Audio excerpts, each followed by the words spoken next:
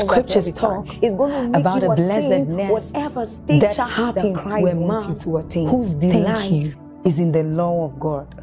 So as Psalm 1 says, it says, but his delight is in the law of God.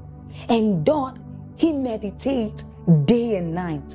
He says that that man is like a tree planted by the rivers of water, whose leaves do not wither, and who bears fruit in every season. As you're about listening to this message, we believe that your life is going to be like that man planted by the rivers of water. Your leaves are forever going to bear. And we know that your, your season will not pass by. You will forever shine and you will forever bear fruit. We have a lot of content to share with you. So we would entreat you to subscribe to this channel as well as like us. Hit that notification bell to receive more updates from us because we know that whatever content here is going to set you on course at every time. It's going to make you attain whatever stature that Christ wants you to attain. Thank you. Thank you, oh my Father, for giving us your Son and leaving your Spirit in your work on earth is done.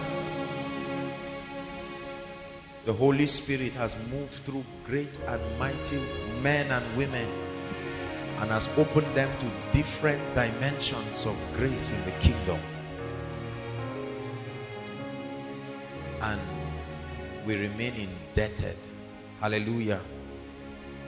This teaching tonight is very dear to my heart. And I hope that we will receive it and may it change us in the name of Jesus. The first thing I want to talk about tonight is just to challenge us on our responsibilities as far as success is concerned. The topic is extraordinary success. As far as being successful in life is concerned, please listen to me. You have a role to play. Everyone say, I have a role to play. When it comes to the success equation, I want you to know that God has a part to play. But you also have a part to play. Please get this. It is not all up to God. And it is not all up to you. We have two extremes in the body of Christ when it comes to the issue of success. There are others who believe success is purely based on intellectualism and hard work and all of that. And they neglect the place of God to their detriment. And they find out that they never become successful. And then there are others, especially those who are spiritual and they love God. And they believe that because they are spiritual and they love God and they experience his presence, success should just occur automatically. Both people are in error. There is an imbalance. Are you getting my point? When it comes to the kingdom, you have a role to play and God has a role to play. It is your playing of your role and God playing his role that makes your success extraordinary, that makes your success guaranteed. Praise the Lord. It's important for you to know this. I always say this when I'm teaching on success that it is dangerous and oftentimes destructive to try to share truths with people when they do not see the need to receive it. Are you getting my point? It is very dangerous. Listen, let me tell you something. When God started out with me, I was so excited at the depths of truth and insight that God was giving me. And I made a big mistake and I don't want you to make that mistake. And the mistake that I made was that I assumed everybody had my kind of passion. Are you getting my point? So every revelation God shared with me, I was just looking for just every and anybody to share it with. And I saw the way that certain revelations came to me as precious pearls. And I carried it and gave people and they dropped it on the floor and matched it. They trivialized the depth of the dealings with the spirit. Never waste your time trying to give information to people who have not seen the need to receive it. Please get this. God is giving us wisdom tonight. Hallelujah. That's why the Bible says, they that seek me will find me. You must communicate your desire and your desperation for God. It says you will seek me and find me when you seek me with all your heart. It's a law in the spirit. Never waste your time trying to invest your time, your energy, your resources in people who have not communicated a desire to receive it and don't feel guilty about it. There are many parents who spend money trying to pay the school fees of people who are just not interested. Have you seen people like that? You pay money for lesson and you come and find the person just gisting around or playing computer games. Do not waste your time and your resources on people. Make sure you probe the sincerity of their willingness to receive. Is someone learning something this night? I used to feel so guilty because I felt if God gives you something, you should lavishly give it. And you know, I became an enemy to many people because I was forcing them to try to get these principles. And I just found out that some people are just not interested. Are you getting my point? So learn it tonight. Treasure the informations that you receive from the Spirit treasure your sacrifices. Don't trivialize your sacrifices. You may pick up this message right now as a gift and give someone. And the person tells you please i'm busy. I'm expecting a call somewhere. He's expecting a call that will lead him to make a foolish decision. Whereas there is wisdom that will save him. Are, are you getting what i'm saying You're my treasure, my priority.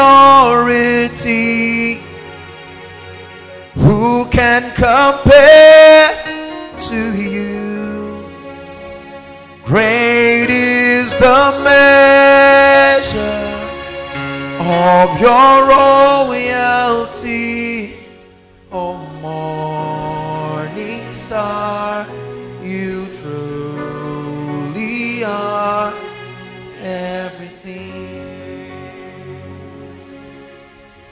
Very important.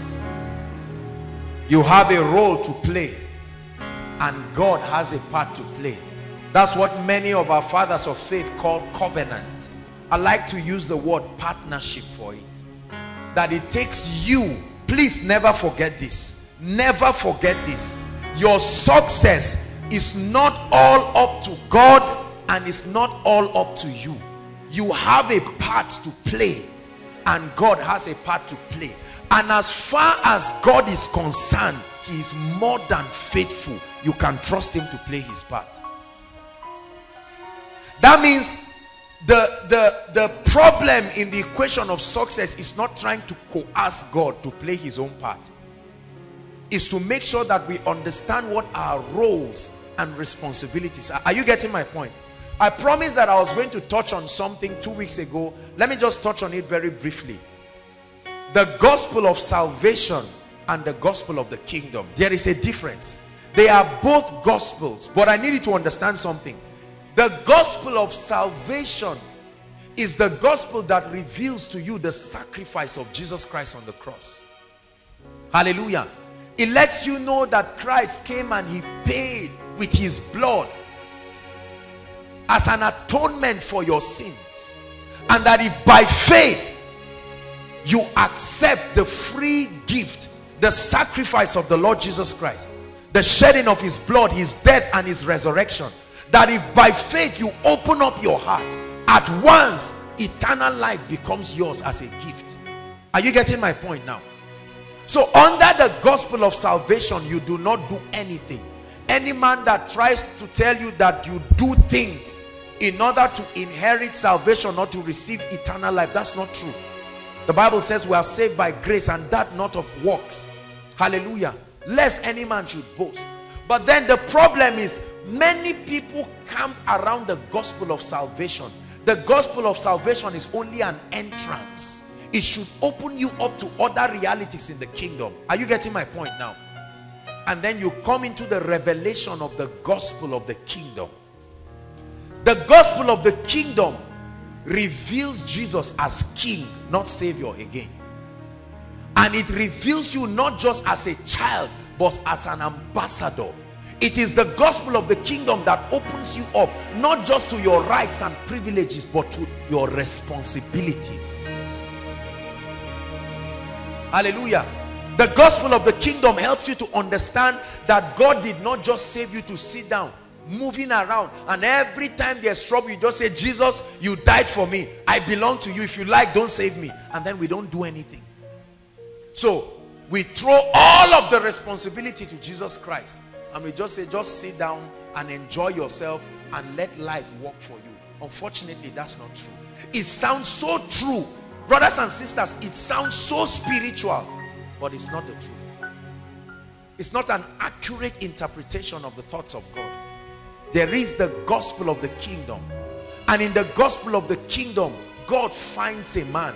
God empowers that man. And God begins to reveal to that man that he, God, has a need.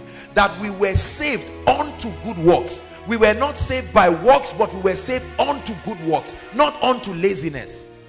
So you understand that there is a responsibility in the kingdom. Hallelujah. It's very important for us to understand this. When it comes to success, it depends on you. Hallelujah. So let's look at the concept of success very quickly. Um, by the way, let me celebrate two people. Um, you have the photos, media. Hallelujah. I must appreciate these two great men of God. They have shaped and molded my life. I salute and I honor them in their absence or in their presence.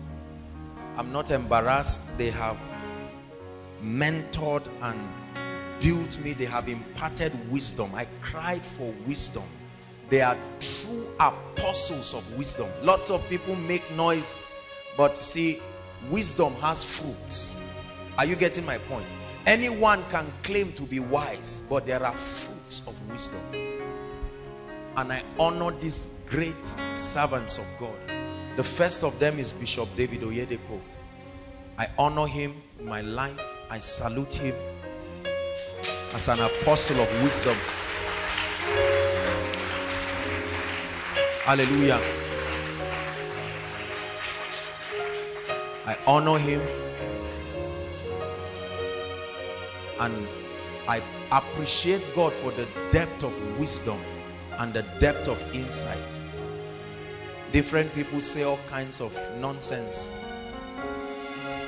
Wherever I sit down and I hear you say anything wrong against him, I will get up and walk out of there. I don't care who you are and what you are saying. I don't care what your thoughts are and what your perspectives are. I salute these great men of God. Koinonia, help me. Let's celebrate grace. Grace. Grace.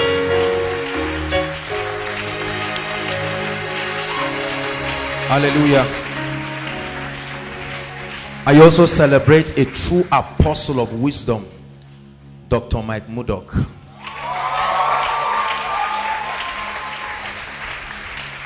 What a mentor. What a mentor. What a mentor. I honor him in his absence. I honor him in his presence.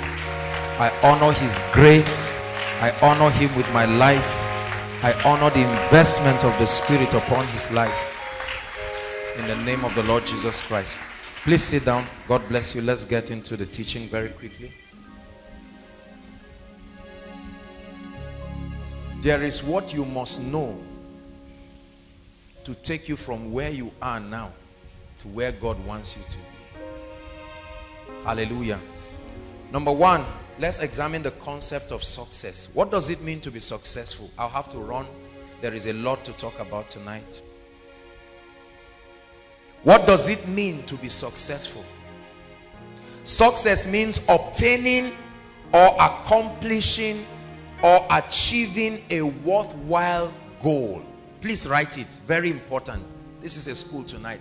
Success is obtaining or achieving or accomplishing a worthwhile goal. If you don't have anything to write, use the notepad on your phone. Please write something. Write something. This is a school. Hallelujah. Place value on knowledge. Place value on information. In heaven, when the apostle was in heaven, he said, write, write. Don't just hear, write. Because there is only so much your mind can take. Hallelujah. So what is success? Obtaining or accomplishing or achieving a worthwhile goal. One of the things that I've seen in my life and I've seen across different territories, especially in the continent of Africa and even in Nigeria, is that there are many sincere, please listen, many well-meaning Christians who may remain failures for the rest of their lives. Please listen. We're going to examine something very powerful tonight. Why is it that many Christians are failures? So many believers, so many tongue-talking Christians, prayer warriors, sincere Christians that have character, men who love God, very, very sincere people, honest, well-meaning believers. But they never get to accomplish or achieve anything. They never get to transform a generation. They never get to rise beyond the limitations that they found themselves in why is this so hallelujah and I got to understand something very important and very powerful. Jeremiah 9 verse 24. I was asking the Lord this question and then one day the Lord showed me a scripture that blew my mind. And then I heard one of these men of God sharing this thing again. Again and again. The first person I heard talking about this was Dr. Mike Murdock. And then I heard Olumide Emmanuel again talking about it. Please look up. Jeremiah 9 verse 24. But let him that glorieth glory in this, that he what? Understandeth and knoweth me. Hold on. Why will the Bible use? I hope you understand that the, the, the, the construction of scripture is very, very, very detailed and very intentional. It said, let him glory that he knows me and then that he understands me. Not just that he knows me alone. Not just that he understands me. And I said, ah, that's the point. There is a difference between knowing God and understanding God. Are you getting my point now? The knowledge of God is what we call in koinonia intimacy. You understand, you, you know his presence, you can sense his presence. You're seeing transformations happening in your life. The anointing of the Spirit of God is being felt strong upon your life. That's as a result of the knowledge of God. But when it comes to your success in life, you must understand the ways of God. The Bible says he showed his acts to the nation of Israel. But unto Moses, he showed his ways, his principles, the inner workings that produce those results that are seen. So it's not enough to know God. You must understand the principles of the kingdom. And one of my obsessions is to open the body of Christ to understand the principles of the kingdom. Hallelujah. Mike Murdock puts it this way. He says there are two dimensions to the knowledge of God. There is the person of Jesus Christ and there are the principles of Jesus Christ. The person of Jesus Christ secures you for eternity the person of Jesus Christ secures your peace, but the principles of Jesus Christ secure your success here and now. Are you getting the difference now? Very, very profound and very important. The principles of Jesus. So all of the people who we consider to be successful and are not believers have embraced the principles of Jesus, but they rejected his person. They will never accept that these truths that they are working with that is producing this success has come from God. They will never give him the glory. They will never acknowledge him as the Lord of their life. But they, they change the names of these principles, but you know that these are kingdom principles at work. But then we have on the other hand the church. We love God. We know everything about God. We know all the names of God from Genesis to Revelation. But we have rejected the principles of Jesus. So we have pastors, we have leaders, we have all kinds of people who never get to make any kingdom impact in their lifetime. But tonight, God is separating us through wisdom in the name of Jesus Christ.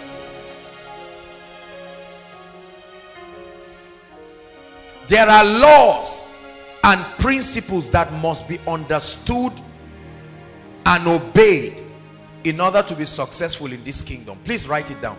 There are laws and principles that must first be understood and then obeyed in order for you to achieve true success.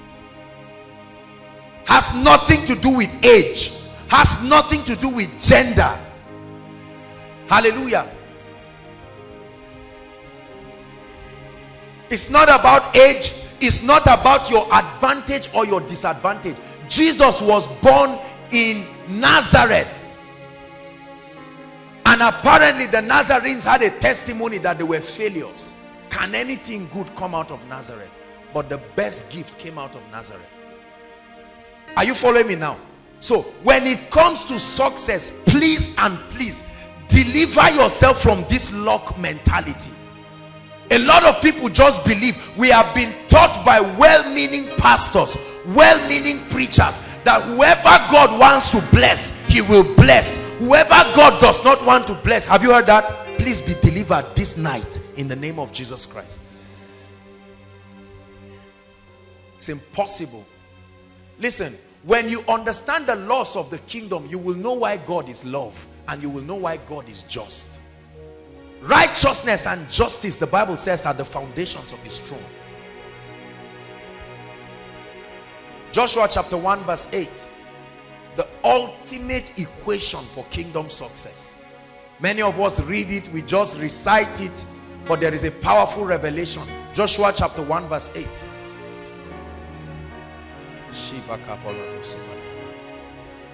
there are laws there are principles that must be understood and must be obeyed in order to be successful. Listen let me tell you something. Please look up. There are many people who hear what i'm saying right now and just make up their mind and say no forget it. It's just nonsense. We have seen people who don't know anything and god just bless them. Have you heard preachers like that? I wasn't doing anything. I was just sitting down and a blessing. What is your concept of a blessing we're talking about success i mean sustained success that can be imparted to generations.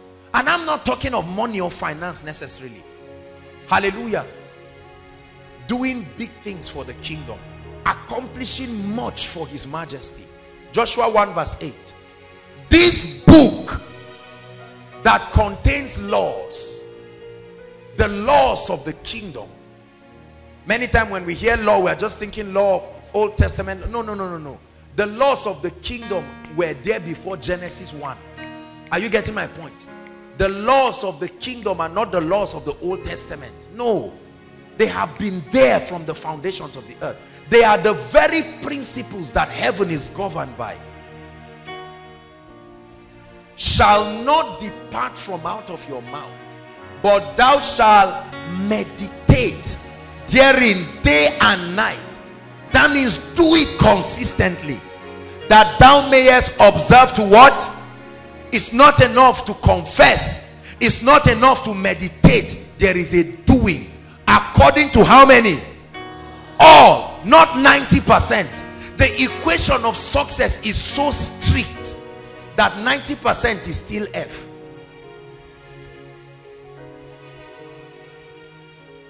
For then, after you have done this, not during, not before. Please help me read that last, that, that last, uh, the, the, the last clause there. For then, are you ready? One to read. For then, thou shalt make, and thou shalt have, who will make his way? He said, you will make your way prosperous. That means it is your responsibility if you want to remain at the level you are now. Are you getting my point now? We keep blaming God on things that God has no business. One of the things that I have learned in my life is the ability to accept responsibility.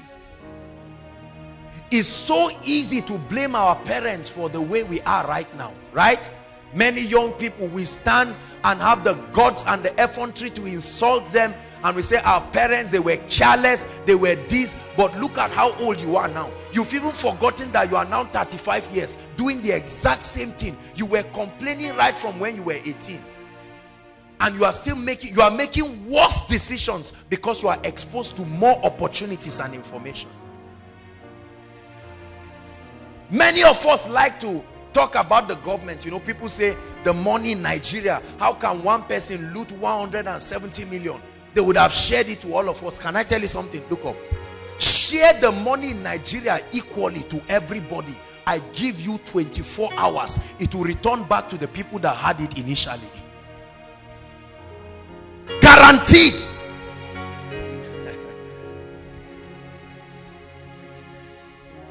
Guaranteed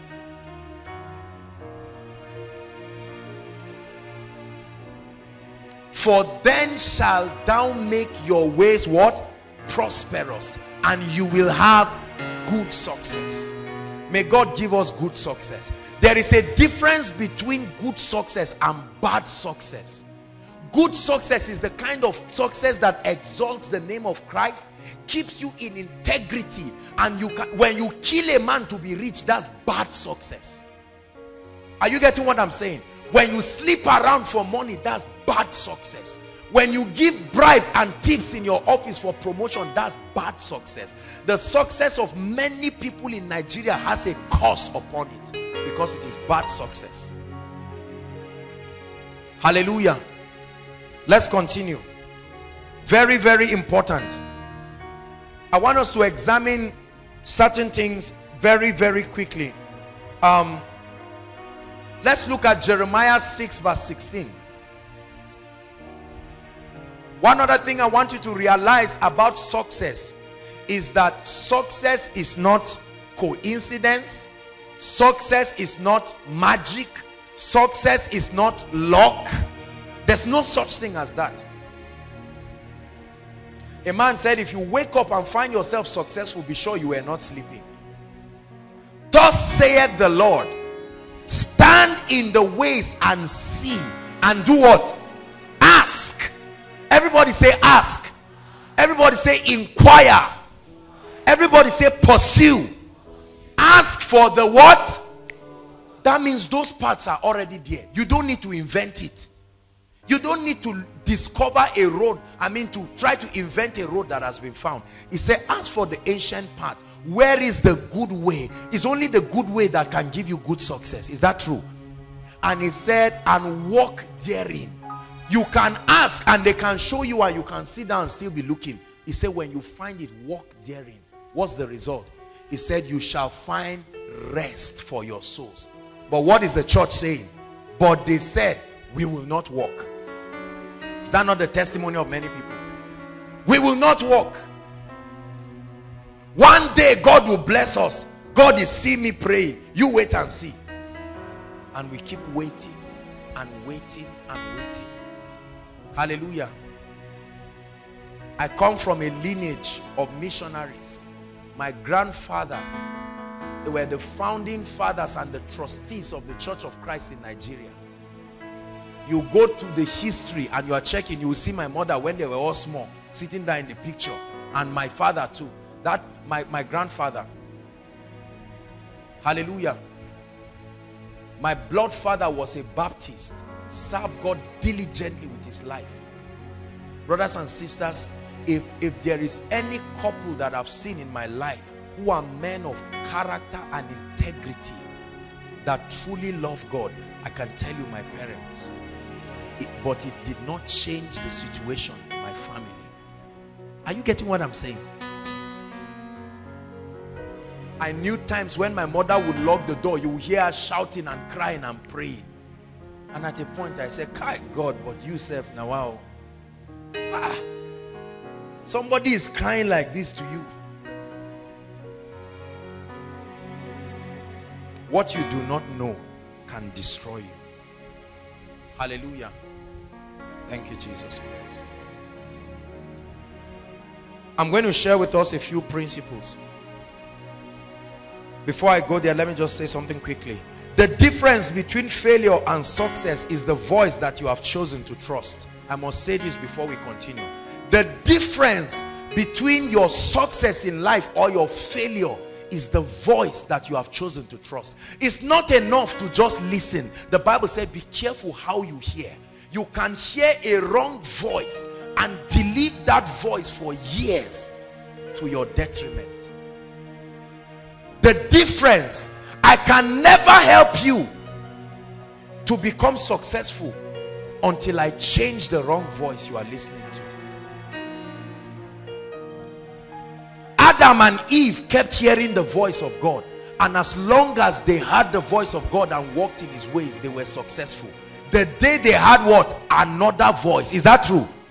Lucifer came with another voice and he misled them. And the Bible says in Genesis chapter 3, said, And they heard the voice of God walking in the cool of the day.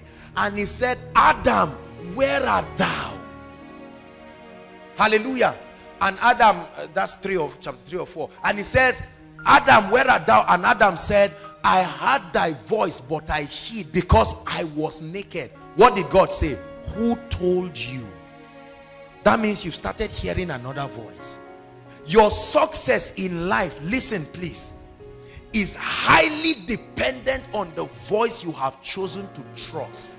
Not just here. Our decisions in life are based on the convictions that words have brought for us. If I convince you right now that if you come and kneel down on this altar, you will get breakthrough. Will you be embarrassed doing it? You will just come and kneel down. Is that not true?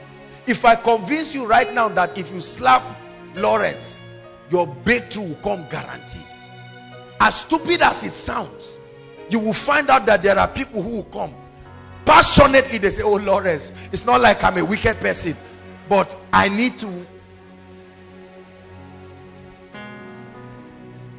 The whole body of Christ is moving at the frequency of convictions and words.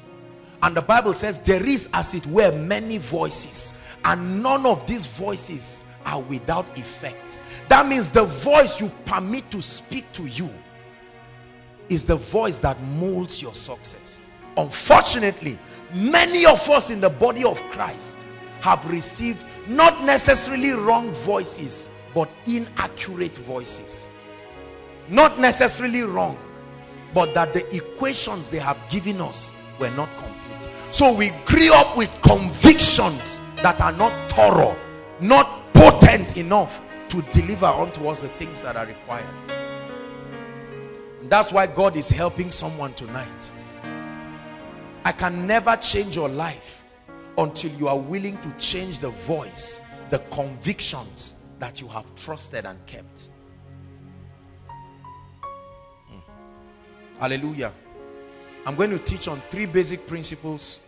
Number one, very important. I'm not going to talk too deep in it Number one, if you want to be successful, please listen. We're going to talk about the principle of mentorship. Listen. This has become such a controversial issue. I have a series just for this. And I trust that when God grants grace, we're going to deal with it. It's, it's been such a controversial issue in the body of Christ. There have been all kinds of imbalances about the concept of mentorship. Many people in their innocence have been misled into all kinds of junks have been threatened by all kinds of wrong ideologies. But let me tell you a few things about mentorship. Very important. First Samuel 3 verse 12 to 13. Please help us media. We need to be very fast. Mentorship is a very important aspect of our lives. There are two ways to learn in life. Number one, mistakes. Number two, mentors. There are two ways to learn in life. You learn through your mistakes or you learn through your mentors. Hallelujah. Mentorship is very, very important. Please pay attention to what I'm sharing tonight if you ever are interested in success in the kingdom. 3 verse 12 and 13. 3 verse 12 and 13. First Samuel 3 verse 12 and 13. Thank you, Holy Spirit. Is somebody getting blessed tonight? Hallelujah. All right, let's read together. One to read. And in that day I will perform against Eli all things which I have spoken concerning his house. When I begin, I will also make an end. Verse 13. Why? He said, For I have told him that I will judge his house forever for the iniquity which he knows, because his sons made themselves vile, and he restrained them not. And he restrained them not. There are two ways to learn in life mistakes and the ministry of mentors is so so important. Second timothy chapter 2 verse 2 second timothy chapter 2 verse 2 very powerful scripture.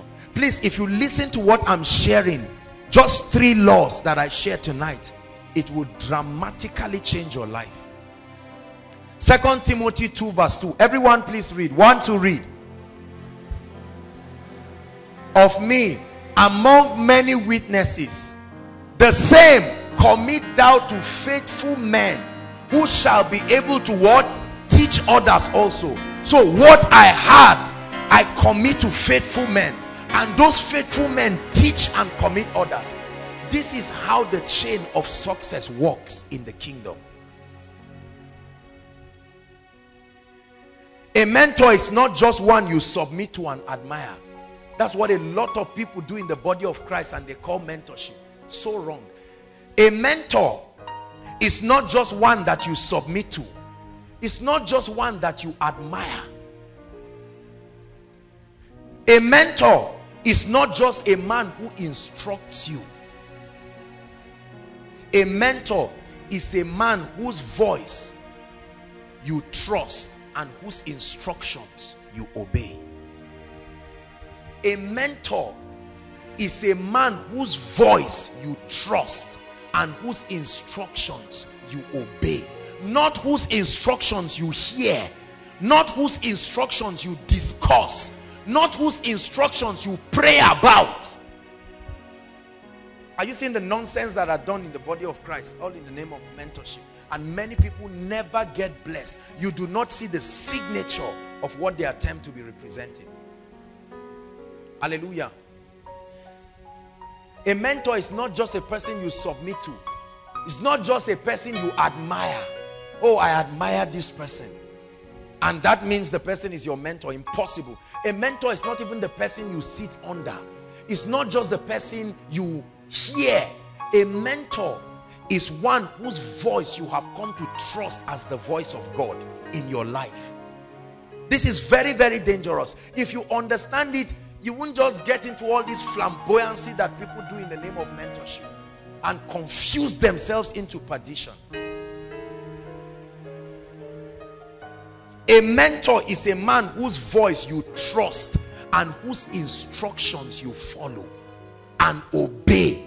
A mentor is not one whose instructions you discuss. Please get this. Get this. Get this. This is a powerful um, principle about mentorship. A mentor is not one who talks to you and you say, okay, I've had you. Let me go and pray about it. You've heard people say all those kinds of junks. They say, I need to go and pray and confirm. You do not trust his voice. There is no man in scripture who truly listened to the instruction of a mentor and missed it. It's impossible. From Genesis to Revelation, you read it. Is someone getting blessed tonight? Very important. Let me share with you a few principles about mentorship that will bless us. Oh, thank you, Jesus. Someone is getting blessed in this place. In the name of Jesus Christ. A mentor is a shortcut to your future. Mentorship is shortcut to your future. Experience is the slowest way to learn. Experience is the slowest way to learn in life. If you think everything you are going to get in life, there are all kinds of arrogant people who will never listen to any man. You don't have any man's books you are reading. There are no tips. I hear the Holy Spirit for myself. Experience is the slowest way to achieve. It's like going to Lagos by trekking. You will arrive, but you may arrive dead. Hallelujah. A mentor is your coach. He tells you what you are doing right and he tells you what you are doing wrong. A mentor is not your friend. A mentor is not your confidant. You see where a lot of people miss it? Please, you neglect this principle I'm sharing. Just know that you have signed an agreement with failure. Guaranteed. A mentor is not your best friend. Your best friend loves you the way you are. Hallelujah. But a mentor loves you too much to leave you the way you are. This is the difference between a mentor and your best friend.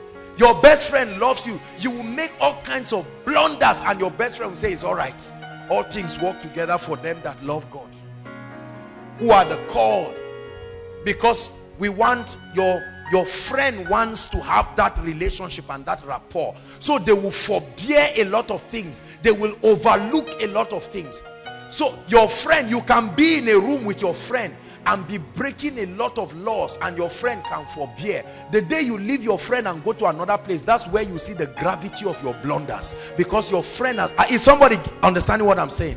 There are many of you that you think you are doing very well because around you are people who can tolerate you to death.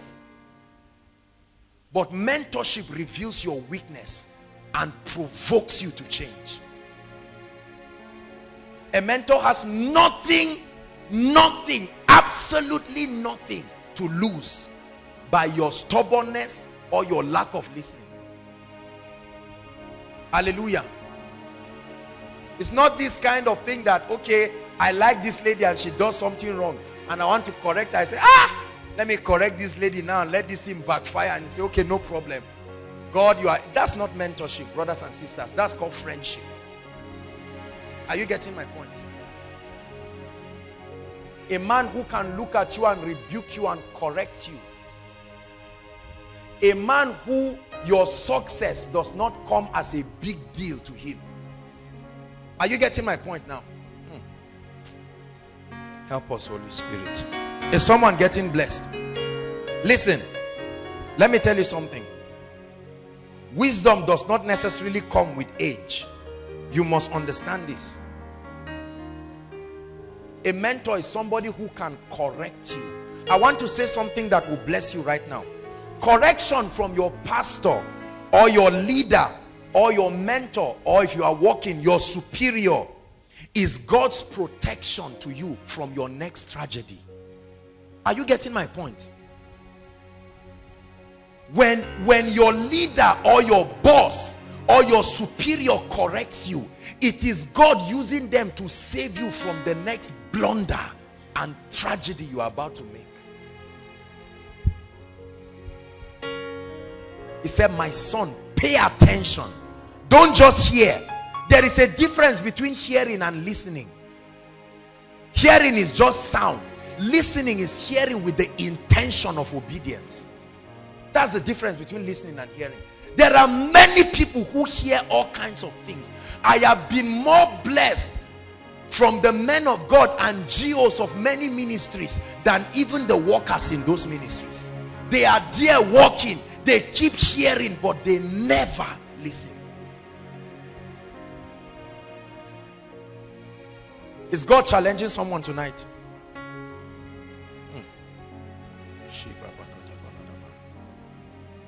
Thank you, Jesus. Mentorship is impartation. Mentorship is impartation. A man imparts his grace, his wisdom. Mentorship is learning through the pain of another person. You are learning through someone else's pain. He already made blunders that you are about to make and he can save you decades of failure and recovery if only you will listen. Please make sure you are writing. In one hour, brothers and sisters, look at me. In one hour, I can read somebody's book and gain an experience that took him 30 years of pain and mistakes again and again. Are you getting my point? In one hour, I can, for paying 500 naira, pastor, I can receive someone's book and sit down and gain wisdom that took someone 30 years. When I read Rediscovering the Kingdom years ago, the book just came out. I made sure that I ordered it. I wrote a letter to Mike, uh, Myles Munroe and I told him, I've been blessed by your ministry. May God bless and honor you. And he replied me. He said, may God bless you. Use the book. I got that book. I paid so much.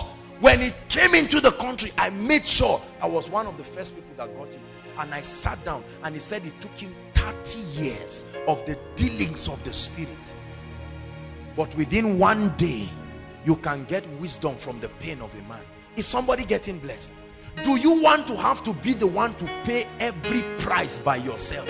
Your lifetime is not enough to correct yourself until you make it right.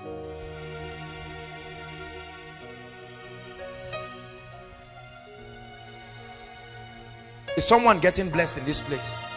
Thank you, Jesus Christ. A mentor is one who knows already what you need to know. A mentor is one that already knows what you need to know. Not one that is struggling to know what you need to know. The Bible says, follow them who through faith and patience have obtained, not are obtaining. A mentor is one who knows what you need to know.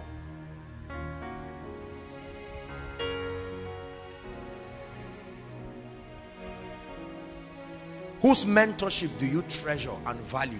That's what God is asking you. Whose voice have you been listening to to shape your life? I can tell you that this is the reason why you are where you are right now. Whose voice do you treasure and value? Very, very important. Mentorship is so, so important as far as the kingdom is concerned.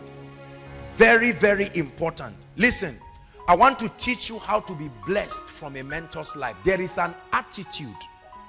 Hallelujah. This is where a lot of people are missing it. Please listen. I wrote it down here and let me just read it.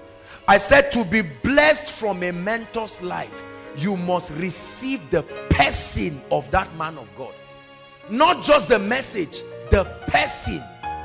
I see a lot of people who say forget about the person just receive the message and leave him. That's junk and nonsense. Are you getting my point? You must first receive the person of that man of God. I know a lot of people who talk wrong things against men of God and great leaders. They sit down in conversations that tear them into pieces. And then they sit down and want to attempt to get the treasure in them. It never works that way. You cannot sit down and tear a man into pieces and believe that you will receive from that man. The Lord does not work that way. The first requirement is that you must receive the person. You must be able to trust the voice of God. Mentors are not perfect people. They are people who have knowledge. They are people who have experience. They are people who have grace. If you are not if you if you do not have the capacity to overlook a man's limitations i'll never forget one time i went somewhere and some people were discussing about benny hinn shortly when the divorce happened is someone getting blessed tonight they were talking about benny hinn and I had the people just shouting and they were saying, I'm disappointed in Benny Hinn. Imagine, how can a great man, and I just kept quiet, I was listening to them. We were watching a program and they were just talking, tearing this man down, say, this generation self, now what is happening? You don't even trust anybody again. And I listened to them. And later on, I called the person. I said, how could you be this unwise? Hallelujah. Over an information you do not even understand. You are not Benny Hinn's PA. You don't know anything. It's easy to sit down and discuss about people, isn't it? It's easy to sit down and watch people play football since there's World Cup. Let me use that example. And say, ah, Nigeria, you didn't score. Shame on you. That heading, if you just headed, is easy. Talk is cheap. Until you get to that place, you will see how easy or how difficult it is. It's easy to see a pastor leading his church and sit down and say, Kai, I don't like this. These guys are so boring. This blah, blah, blah. This pastor's wife is not even very, very anointed. Why is she quoting this and that? Until the day you have the opportunity, you will pray and preach every sermon you can preach in one month. And that's when you will know that pastoring is not child's play. You will fish, you will copy the teaching of every man of God till your congregation can even tell you the message and you will find out that it's just it's just February. Then you will begin to respect every preacher that preaches every week that you stand on your stage and say ah but is that scripture correct? It's easy to stand and judge. If the host has said never criticize a man until you have done two times what the man has done once. And I listened to them and I called the person. I said no don't do this if you talk like this you will never receive the grace upon his life. And I told him you need to go to God and say Lord I am sorry.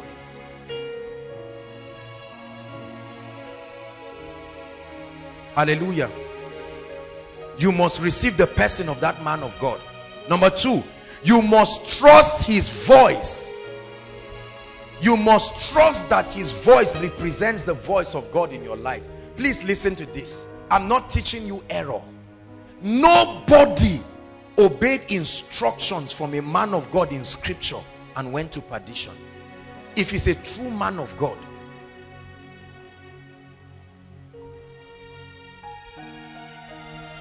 You must be willing to submit to his instructions as coming from God. Listen, you never get a mentor give you instructions and you say, I've had you, sir. Let me go and think about it. That's nonsense read your scriptures. If you trust that the voice of this man of God is the voice of God you prove it by absolute loyalty. This looks very childish but I will show you why so many people do not receive. I remember one time when Abuja and this particular great man of God we just sat down listening to him and when when I saw that man I kept quiet for hours this man was talking. Some of my colleagues were just making noise and I kept quiet. I was listening to this man. And he was looking at me eyeball to eyeball. And at a point he said what kind of person are you? Don't you talk? And I kept quiet. I was just listening. Listening. And later on he cornered me outside and he said I know what I've seen in the spirit about you. Pray for me. I said I'll pray in my room. Not here he said, lay hands on me. I said, no, I won't do that. Many foolish young preachers say, yes, sir. You are celebrating my me. Kneel down. Let me show you what anointing can do. See that? No. This is why many people do not. Let me tell you, success is not about business or job. If you do, it, it accounts for less than 10% of the equation of success. If you neglect these laws, you neglect it to your detriment. Praise the Lord. Is someone listening? It is only when you have accepted the voice and the person of this man, then his message, his grace, and his anointing will be effective in your life. It's amazing how people come and sit down in a meeting listen to their men of God, and immediately they come out, they sit down in forums and try to discuss and tear everything into pieces and just sit and say, man, oh boy, that thing this man is saying, this is nonsense. I remember one man who was criticizing Mike Murdock and he was even warning me. He said, be careful. This seed, seed man, everything is seed. Every, what sort of man is that? You will stand and say they should sow a seed into his life. I said, that's all you saw about this man? That's everything you saw about this man? I said, time will tell. Years later, I saw him in the midst of financial crisis. He was reading one of Mike Murdock's book, Why People Do Not Receive Their Financial Harvest. See, let me tell you something about life. life can humble any level of arrogance. It's only a matter of time. There are realities that is like a wall. You will box it till you get tired. At that point, hallelujah, Bible says that David cried and cried until he had no strength. He came to himself. Thank you, Jesus Christ. Mentorship creates seven things. And let me just put it, like I said, we have a series and we'll talk on it more extensively. Mentorship creates seven things in your life when you embrace that ministry. Number one, it creates impartation. Number two, it creates guidance. Number three, it creates access. It creates impartation. It creates guidance. It creates access. Number four, it creates endorsement. Number five, it creates promotion or a platform for promotion. Number six, mentorship creates a platform for wisdom. Seven, mentorship creates speed in your life. Take note of this. It was through the wisdom of a dear woman of God that I respect who called me one day. I used to talk about men of God and I will mention their names. And with my zeal, I would just be talking and the woman called me one day and said, my son, you are a young man and you have a very long journey to go. God is going to use you greatly. Never criticize a man of God. You are too young to know everything around a man of God's life. Make sure from today. And I said, mommy, God is my witness and in your presence. This is the last time I will ever open my mouth and talk about a man of God mentioning his name. I would challenge wrong doctrines, but not to talk about a man of God. Wisdom. I would have destroyed an opportunity in the height of what God will be doing in Koinonia. One day now, I will make a foolish decision, maybe on air. Are you seeing that now? This is how great people, I'm showing you the wisdom and the blessings of mentorship. There are many of you who have seen people and you disregard them because you think a mentor is only one who has your kind and level of anointing. There are wisdoms that are greater than the realm of anointing. Levels of wisdom. Hallelujah. I learned silence from one of our boards of trustees. I notice every time you are talking to that man, he will keep quiet. You will talk and say all kinds of things and he will keep quiet. I didn't used to be like that. Especially if God has revealed to me what, what your problem is. Before you talk, I say, please save, save us the time. And he taught me the art of listening. That it is wisdom to listen to a man. See that?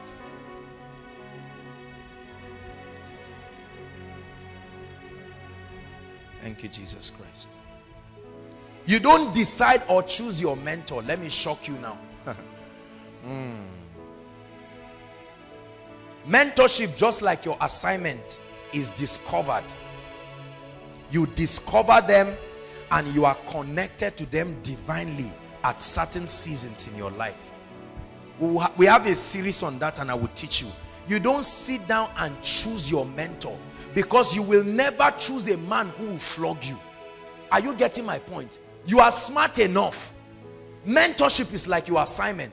Why will I choose a man who, when people are celebrating me and saying, Apostle Joshua Selman, you look at me and say, young man, no problem, but there is more work to be done. Keep that, all of those accolades and let's work. Do you think I naturally will like that kind of person? Mentorship is like assignment. You don't choose. That's why a lot of people choose somebody and he rebukes them. He said, oh boy, I am seeing that you like women. Say, ah, what sort of embarrassment is this? And he moves from the name you used to call him, maybe man of God or daddy or papa. Say, sir, please. Ah, I don't like, what kind of thing is this? I am a prophet or I am an apostle. You're an apostle, I'm an apostle. Hallelujah. How can you tell me I like women? Me? And you don't even see me around. He says, I'm telling you, you like women. Go and work on it. Say, no, I don't like this guy. Let me go to this other one. He say, you are okay. Just believe. Push yourself. And then the day something backfires, truly you find yourself sleeping around. You will now get up and say, goodness. And this man saw it. I told one of my friends something years ago. Immediately I looked at him. I said, you have a lot of tendencies and I want you to work at it. At that point, he even got offended that day. But after like four or five years, he called me one day. He said, can you remember something that you told me? He said, honestly, I am embarrassed to even believe that I'm a victim of this. I told him, no, there's no point for embarrassment. Once you acknowledge something, change. Look, let me tell you. Let me tell you. Mentorship is so powerful. Somebody can sit down and look at you while you are bubbling with all your zeal he can see all the tendencies oh i'm a millionaire let money come oh kingdom you will see what will happen and the person says make sure you take out time to start praying because i see money destroying you this is not word of knowledge this is this is the excellency of pain and wisdom and experience it's amazing how people come for counseling, pastor. They come on Monday for counseling and they are now coming to seek my advice and they just come, they sit down. Good afternoon, sir. I want to seek your advice. And for 30 minutes, they are just running their mouth and talking and I'm keeping quiet, listening to them. And after 30 minutes, they say, I feel very relieved. And I say, let's pray. Let's pray. They say, and, and you know, the Bible says in the book of this and that and that and that and that. A lady, I remember a lady came for counseling and I like putting wine on top of my fridge. And she looked at it, said, I hope this is not alcoholic wine. I just looked at the lady. She believed that was funny. And then I looked. It means you don't trust. You believe that there's something I'm doing hidden. If I stand and we preach and we make altar call and we talk about standing in holiness and truth. And you see wine on my table and you look and I'm feeding you spiritually. If you cannot trust that the wine that is on my table is non-alcoholic how can you trust that I'm not sleeping around and moving in integrity? How can you trust that I'm not going to get anointing from somewhere? Are you getting the point now? So many people have made themselves failures and we keep blaming God Whereas there are irrefutable principles. No man outgrows the need to be guided in his life. No man. At whatever level. No man.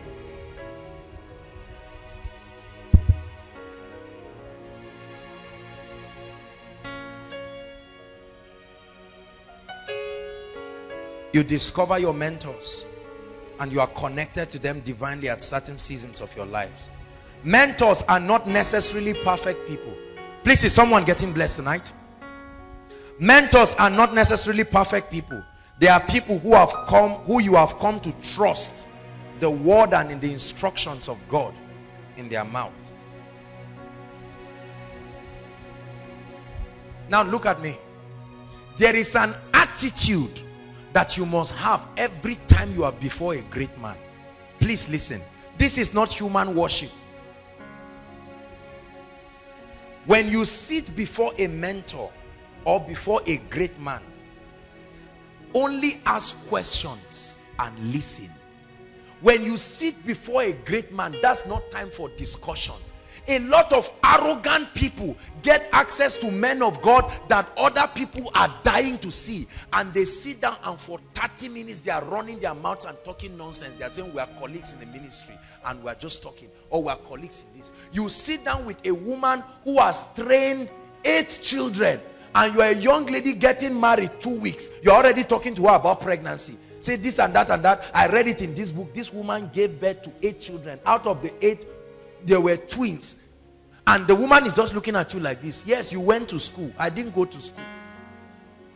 And you sit down. You went there and say, Mommy, what advice can you give me now that I'm going into a marital home? And you just look and you are wondering, after all, she was poor. I went to school. I, I, I just returned from America. And the woman is just looking at you. You believe this woman is too old or naive to understand what you are going Or maybe a lady is pregnant, for instance, and maybe she wants to seek advice from a woman because of maybe any complication. Two months, three months into the pregnancy. And you now look at her and say, Mommy, is there any way you can help me? Eight children. Eight children. And you believe is such a level of arrogance.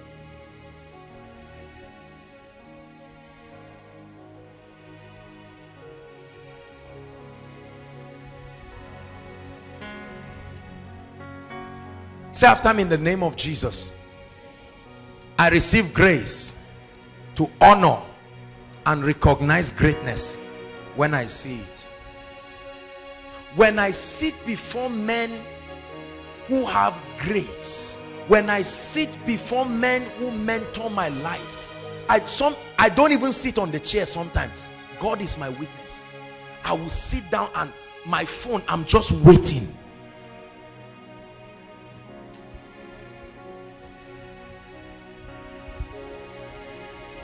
Every time you see results in a man's life, there is more than what you can see. Are you getting my point? If it is the equation of God, there is more than you can see. He leads me and guides me to the city up above. He leads me and guides me to my place of destiny. He leads me and guides me to the city up above. He leads me and guides me. I will never forget a young man who came from Kaduna. I remember the guy came and sat down and said, um, there's something wrong with my life. And I told the guy, I need to pray for you. He said, no, that's not the issue. And he was talking and saying all kinds of things. And then I was looking, immediately he entered. I saw a spirit tormenting this guy. I said, Let me, I need to pray for you. It happened one time with another lady again from a ministry. I will not mention the name. No, she came and was saying all kinds of things. And this guy was talking, talking, talking. And he said, Come, on, that he even needs to ask me a question about this issue of deliverance. There's something. I said, Please, I'm not here to argue with you. There are so many people sitting outside. Can I pray for you? The last thing this guy remembered was that he knelt down on the floor. And the protocol people when he got up he had scattered everywhere. Protocol people were helping him. The guy went back to his ministry.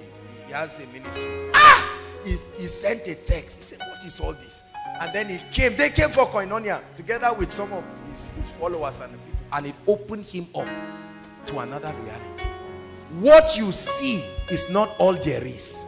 There can be a lot more i have taken challenges to men that are greater than me and to me, those challenges look like mountains. But when I take it there, I, they just look and say, oh, is this it? Do this, do that. This is a simple issue now. And I'm like, goodness, how come I didn't think about this?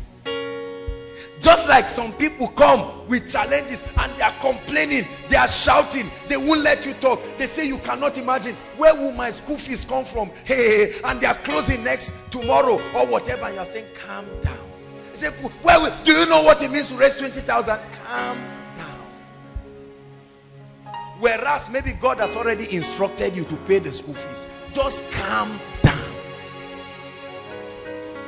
It's comforting when you can find a man who can walk over what looks like a mountain for you.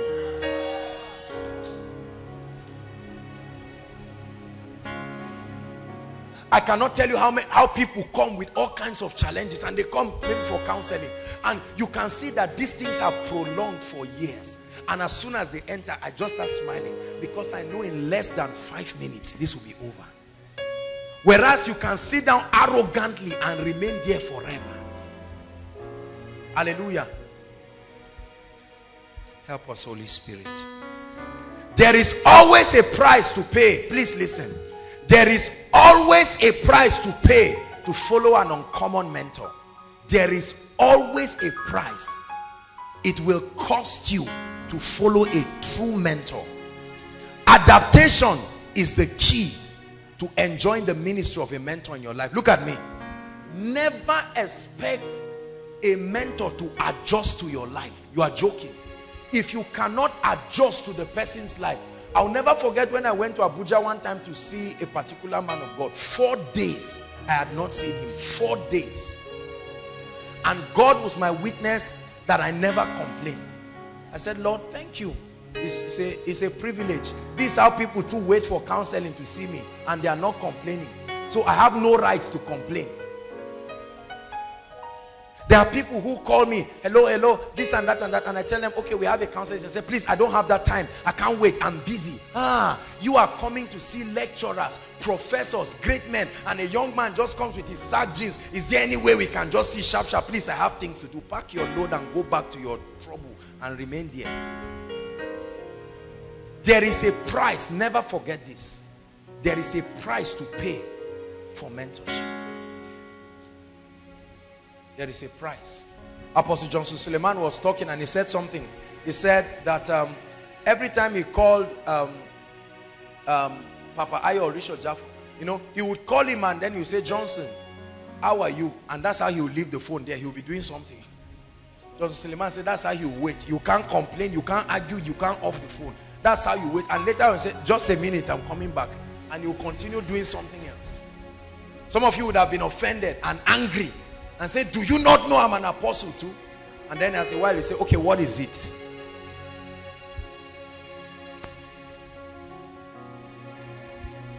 A mentor is not one who calls you Apostle Joshua Selman. He should be able to say, Joshua, come. You see that? Sometimes we are used to the accolades of men. I am apostle. Even if you say pastor, they say, am I pastor? Is A the same thing as P? I'm not, I mean, better call the correct thing. May God help us. Because if you get this principle alone, many of us tonight, this is the key to the next level of your life. You have neglected the ministry of great men. There is nothing embarrassing about acknowledging that there are people who have gone ahead of you. Praise the Lord. Pursuit is the only proof of passion. There are people who get angry. Maybe they want to see me and maybe we are away on a trip and then they are angry and they call, they say, I've been calling you for two days. And I say, I'm sorry. What's the issue? They say, please, I've been trusting God for something in my life and you just finished quarreling me. You have been calling me for two days. I'm not responding. Whereas maybe I was preaching. Whereas maybe I was having time with God. You know, please and please, brothers and sisters, it takes humility to rise to the top. If you are not ready to be humble, get set to remain at that level. Hallelujah. I shared with you my story on how I was already preparing to go to the US to go and scrub the toilet of Charles and Frances Hunter before they died. I was going for a conference, but my mission was to go and scrub the toilet. And I, I made up my mind that when I got there, I would insist. I'll tell them my job is to scrub the toilet. For two solid weeks, scrubbing the toilet every day.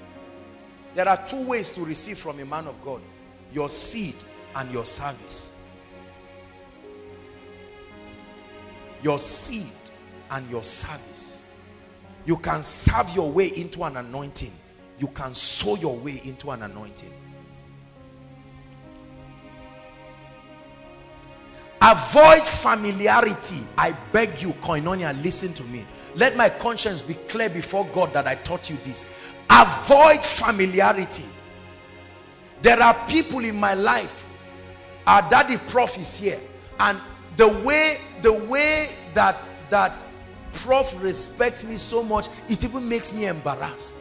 I never, never, never will take his grace and his ministry and his wisdom for granted. Never ever. Hallelujah. Many of you do not understand the secret. Listen, please listen. This is where you may be missing a lot of things. You can be with a man of God for a long time. Never forget who you are talking to. It's not enough to talk to people. Never forget who. Jesus looked at them and said, before your father Abraham was, I am. And they said, ah, what are you saying? Never forget who you are talking to. This is not human worship. It's the law. These are the ancient parts that made people great. I never get familiar there are all kinds of men of God. Something, something happened yesterday and we're having a conversation. One of the top protocol people in one of the reputable ministries, I won't call their names just to honor the person. He had been trying to reach me and he had called and called and called and called and somehow the call could not get through. And you know, he looked at his status and he was offended. He is really an honorable person. You see, I mean, the direct like PA of one of the great men of God in the country and he's been trying to reach me and for whatever reason when he got to our protocol department we were in we were in in, in a meeting in um, in Kwara State. And so we could not attend to him. And then eventually he got offended. And then when he called you know he was speaking and it sounded a bit arrogant. But when he told me who he was i would have said oga you have told me who you are. Let me tell you who i am too. I just told him i said i'm sorry sir. I really apologize. I am sorry we do not mean to disrespect the grace or the office that you're working. We apologize on behalf of myself, on behalf of the ministry. Immediately, the man too said, I'm sorry. It's not like I just meant to talk like that. It's just that, you know, this and that and that and that. Never be embarrassed to honor greatness. When a great man rebukes you, shut up. Whether he's right or wrong, keep quiet. Don't get up and say, I'm justifying myself. What is all this human worship? After all, it is God. Continue and see how far it will take you. When an elderly person rebukes me, when someone who has gone ahead of me rebukes me, all I say is, thank you, sir. I'm grateful for the opportunity. You see, many of you don't have the opportunity to see the way these things happen because they happen in the secret place. And so you just believe that every time we're just standing, boss, boss, boss, boss. Oh, I wish it were so. I wish it were so. I wish it were so.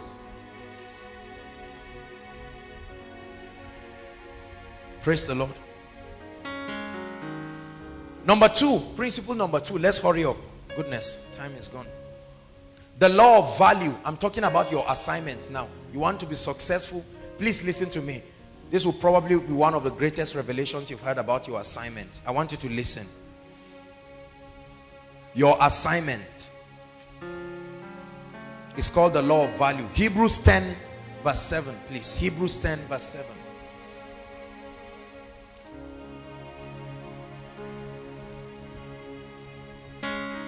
God is changing someone's life here in the name of Jesus Christ. Hebrews 10 verse 7.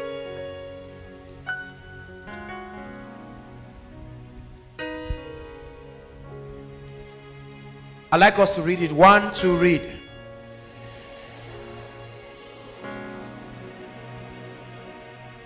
Lo, I come in the volume of the book as it is what? It has been written. Your assignment. I have come to execute that which has been written.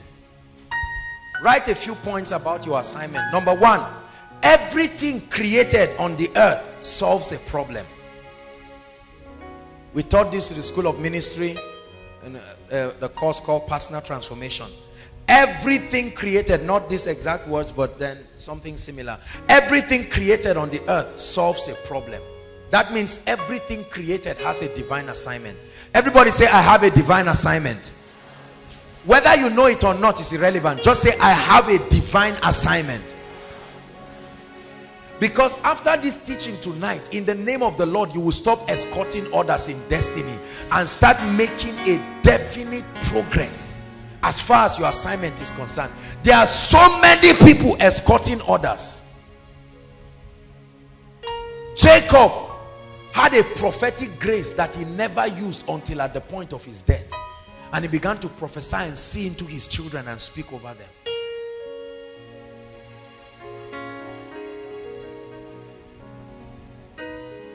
Every man in the earth is a walking solution to a problem. Everybody in the earth is a walking solution to a problem. Say i am a walking solution to a problem. Yes. Your existence proves that there was a problem and god sent you to solve it. And brothers and sisters fulfilling your destiny is solving that problem for your generation many have died without solving that problem. And god had to take their the problems and transfer to other people as a double mandate upon them. Because some other people were not faithful. The problems you solve decides your reward. Never forget this. Money is not a miracle. Money is not magic. Money is a formula.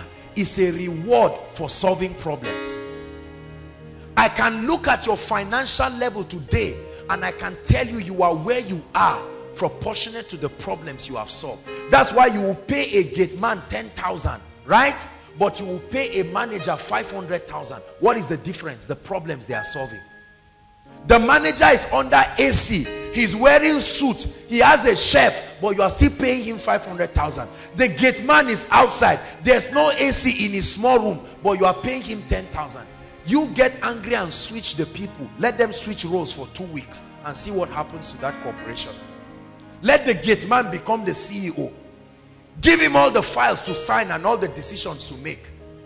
And then you will see the way everything will nosedive within two weeks.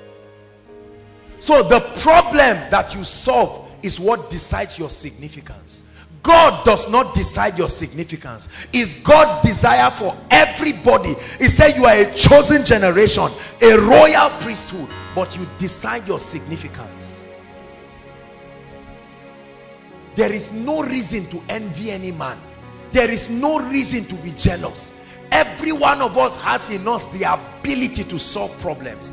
And the degree of the problems that you solve decides your significance. There are so many men of God angry at, at crowd and they criticize crowd and they say forget it crowd does not mean anything.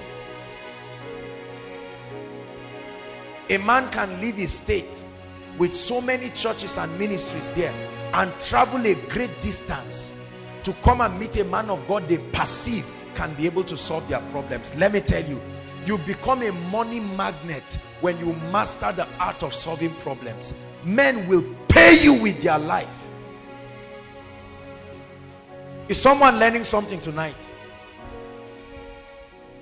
The problem you solve brothers and sisters decides your your reward. I'm ministering the word right now. I'm solving a problem. It's a spiritual problem. Are you seeing that? Anybody who says preachers should not be blessed does not know what he's saying whenever you solve a problem according to the kingdom there is a reward.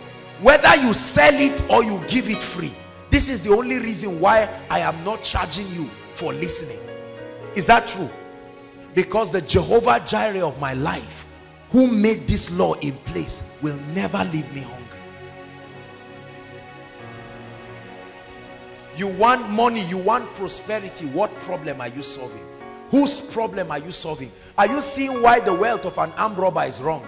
Because an armed robber points a gun. He's not solving any problem, but he wants to be rewarded. Prosperity is not a mystery, brothers and sisters. The problems you solve decide your significance. When you solve a problem, you create a divine debt D-E-B-T. You create a divine debt. It's like when you solve problems here on earth, God is like making God, I mean, God owes you. Let me put it that way.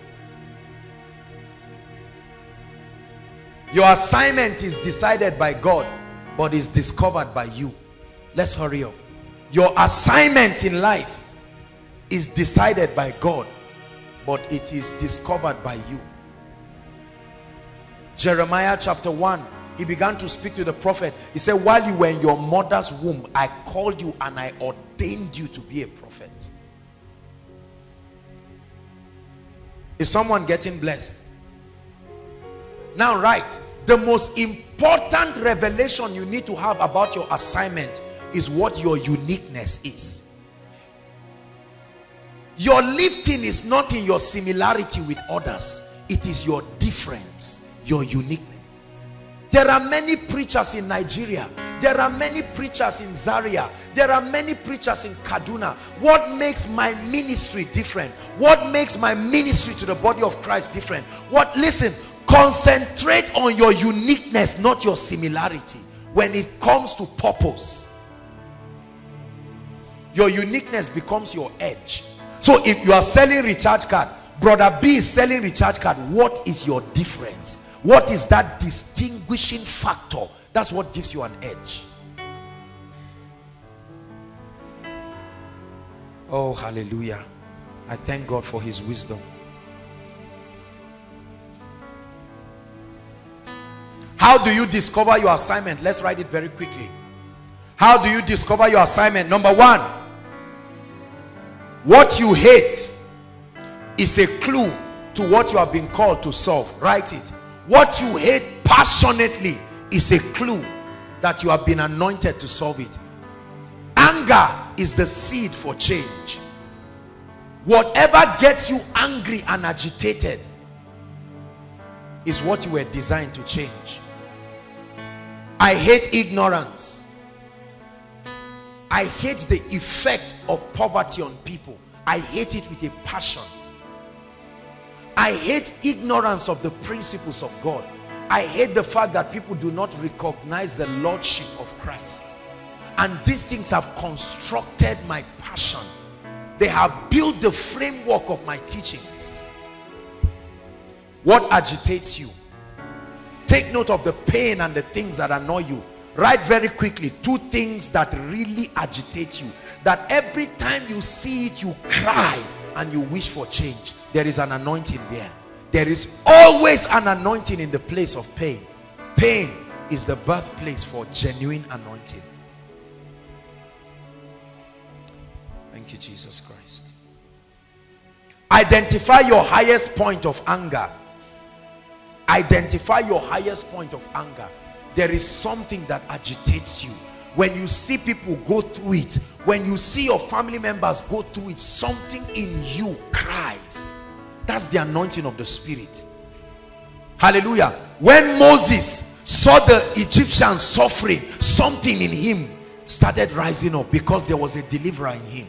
Are you getting my point now? To an extent that he killed somebody. Have you been ignoring your pain? Do you know that in your pain is the voice of the spirit? God has been speaking to you that you have been anointed for this reason there are many of us, God has, has anointed us to be saviors. He has brought us in different mountains to do mighty things for the kingdom. Are you seeing? But we have refused. We have ignored. Please let me have your attention. Don't worry. The Holy Spirit is just doing his thing. God has anointed us in different ways. Take note of your pain. Take note. Oh, hallelujah. Thank you, Jesus Christ. Number two, what do you love to talk about most in your life?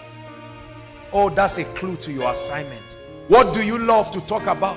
There are many of you, you sit down five minutes, you have already seen the clothes everybody is wearing in Koinonia. There is grace there. Don't let anybody preach you out of it. There are some of you, when you see children, they can even flog you because of children. There is grace your passions. Your passion. When the anointing of the spirit comes upon your passion. I remember when I was in secondary school I will give everything. The little money that I'll have I will share it and give everybody. They will buy meat pie buy everything and I will suffer like a fool. But it was a passion I could not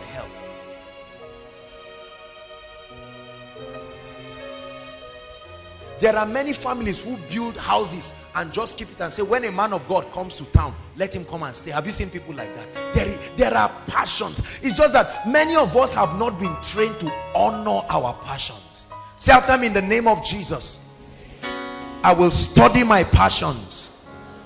And I take my passions as a voice, as the voice of God, speaking over my destiny. What is the conversation that excites you? There are conversations that when you start in my presence, I'm going to sleep or send you away. I guarantee you. Even if you mention Jesus in the middle of the conversation.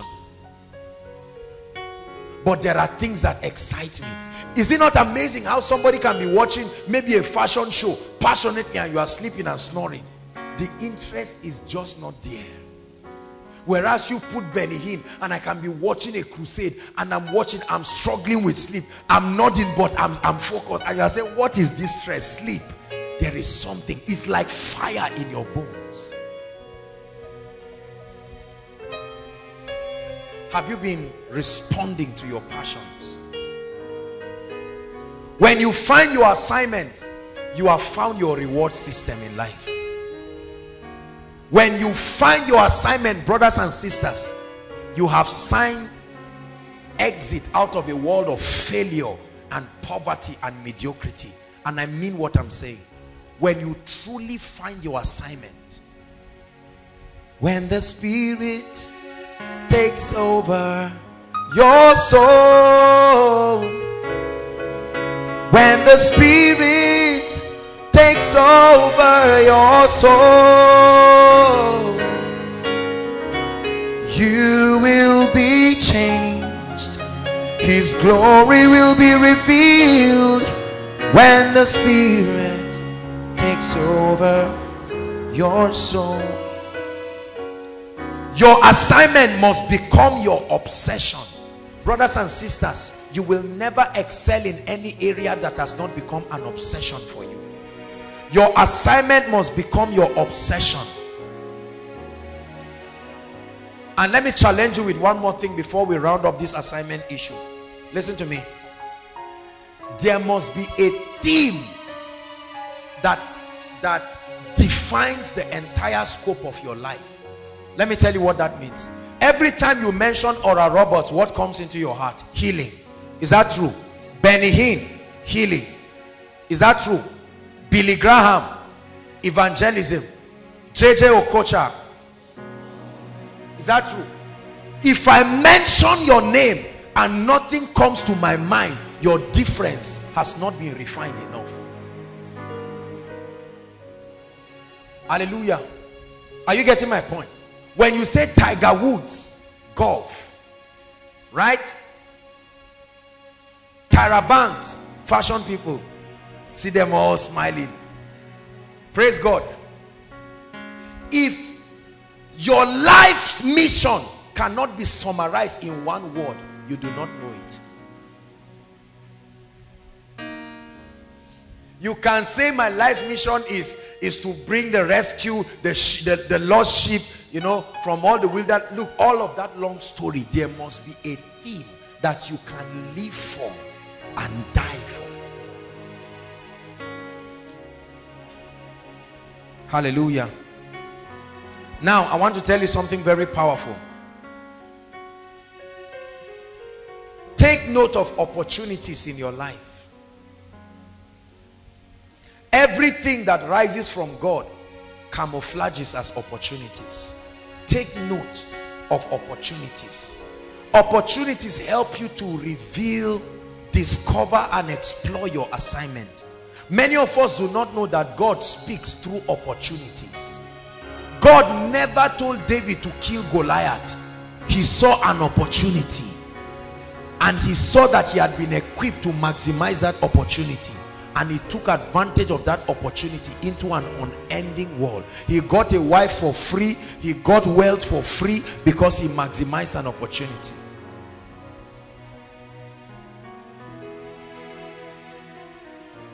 And I want to tell you something.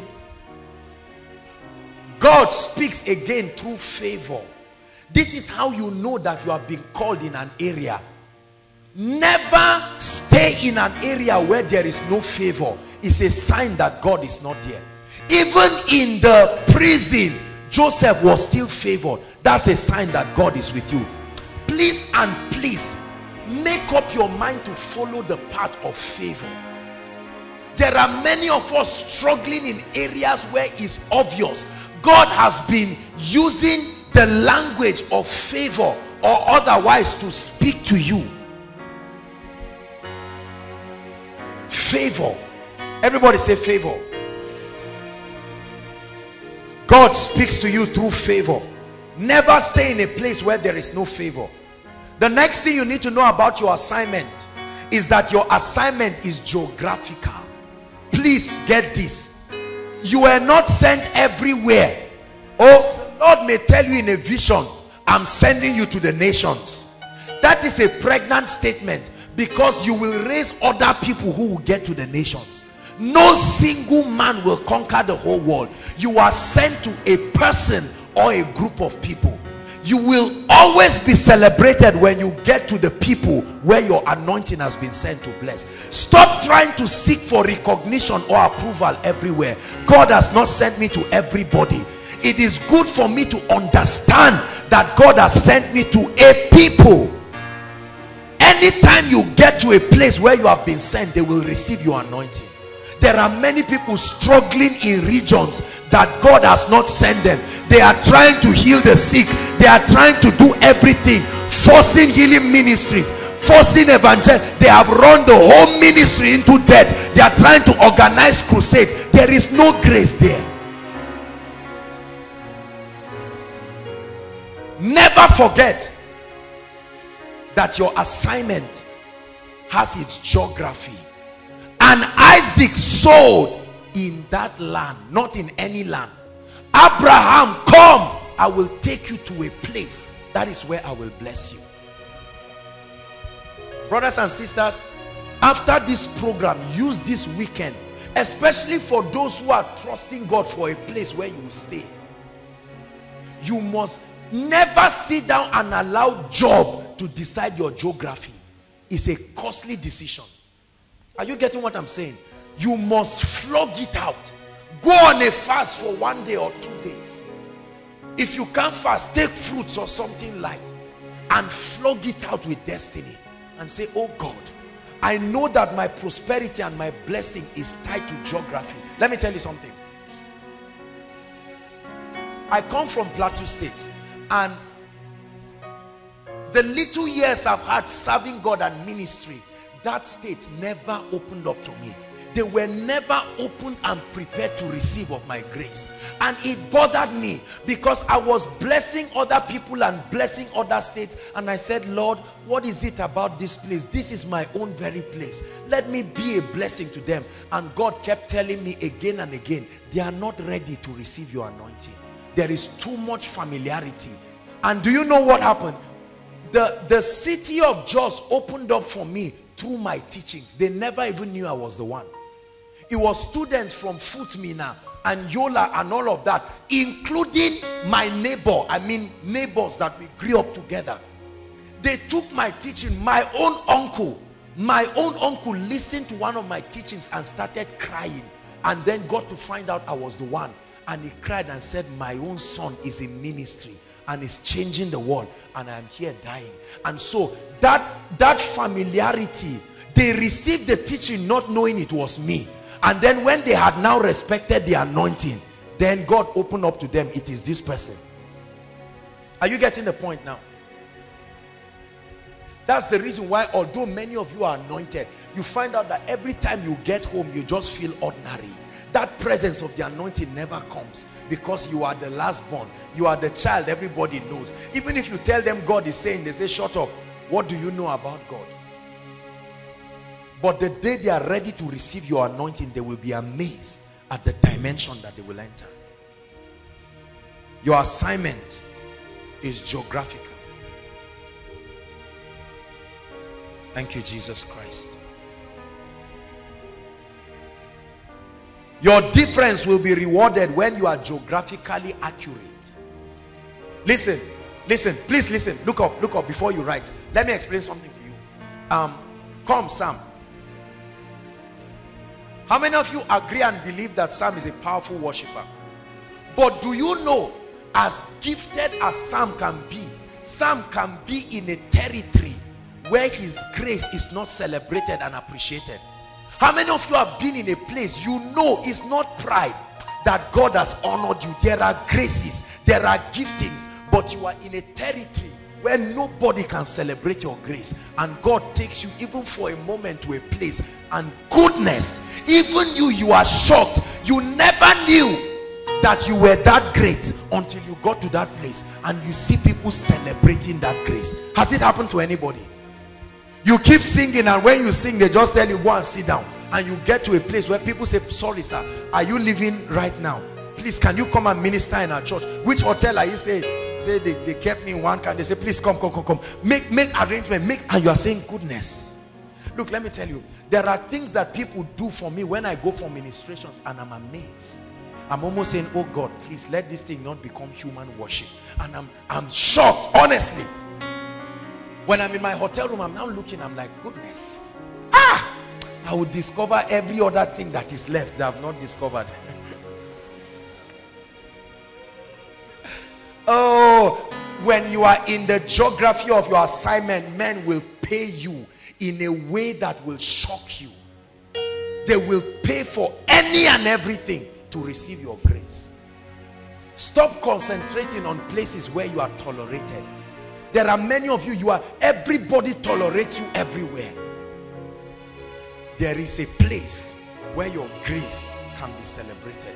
And I tell you, part of my life's goal as a leader in this ministry is to harness the giftings of people and to celebrate it and to make them great. Sam, God bless you. When we went to Kwara State, Sam ministered and he led worship. He was so powerful.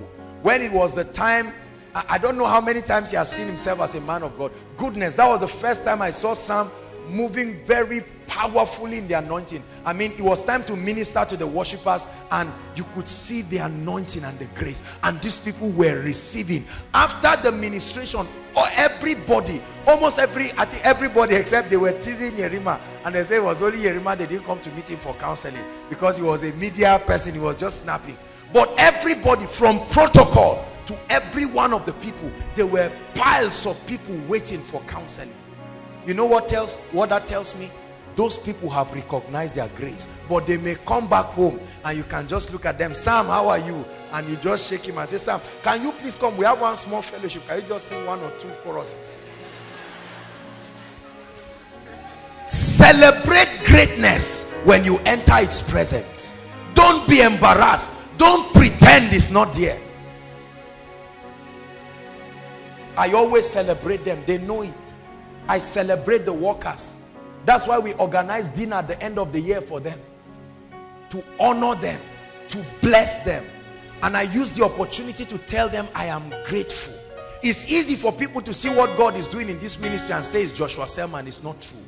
What you see is the brainchild of people who are by far smarter than me, greater than me, who have decided to submit their gifts to be used for the kingdom. And I'm wise enough to know that these people deserve honor. Are you getting my point now? That's why we provide free bus transport because we, we respect the gift of God that is in you people and everyone here. We never, you never see me treat people based on who your father is. I don't want to know whether your father is a minister, whether you are married to, to the to a relation of the president uh-uh. no we no man after the flesh. When you come here we treat you with dignity and respect as much as possible. Is someone learning something please? Let's finish up on the assignment and touch the last law and then we'll pray. Just give me 10 minutes and then we'll be out of here. When you are where you are assigned nobody can compete with you this is a powerful revelation when you are at the place of your assignment hear me brothers and sisters no man can compete with you I see a lot of preachers struggling. I've seen a lot of men of God with all humility wasting their time and their energy trying to do the things that I'm doing. I'm doing it with ease because there is grace there. I see a lot of people struggling, putting themselves under needless pressure and I say, why? Why? I never try to do what I am not gifted, anointed, skilled, or trained for. I rather bring in a grace that can function in that capacity and then we receive of that ministry.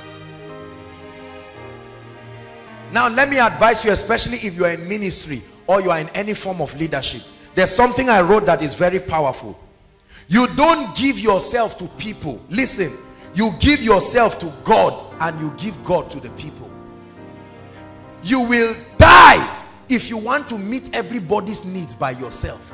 Give yourself to god and give god to the people. Many preachers are dying and killing themselves. They want to do everything for everybody. No sir. No sir. Give yourself to god and then give god to the people. Thank you jesus christ. Thank you jesus christ number three this is the last and then we'll pray someone's life is changing tonight I tell you, you will walk out of this place knowing that you will enter extraordinary success. I don't care what the limitations are in the name of Jesus Christ. As we talk about this, just, just pray. Can you just pray in one minute and say, Lord, I love your laws. I love your laws. Go ahead and pray. Just pray in one minute as I talk about this last law. Just few minutes, our time is gone. And then you will be blessed and will pray. I love, I love, I love your presence. I love, I love, I love your truth. I love, I love, I love your presence. I love, I love. I love you, Jesus. I love, I love. I love your presence. I love, I love. I love your truth. I love, I love. I love your presence. Hallelujah. Hallelujah. Oh, Shibala Katabaladaba. Somebody's life is about to change.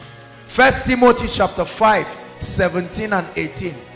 The last law we'll talk about is the law of honor. The law of honor. Blessed be the name of the Lord. Every time I teach on this, something happens to someone's destiny. The law of honor. First Timothy 5, 17 and 18. Look up everybody. Let's read. One, two, read.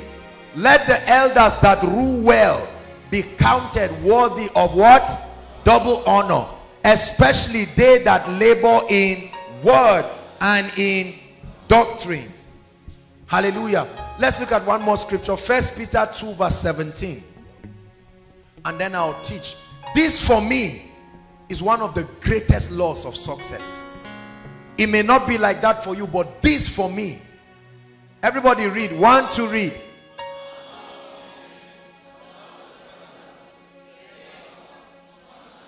One more time.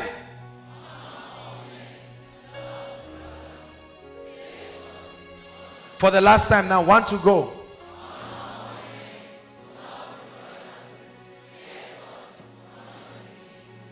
Honor all men and honor the king.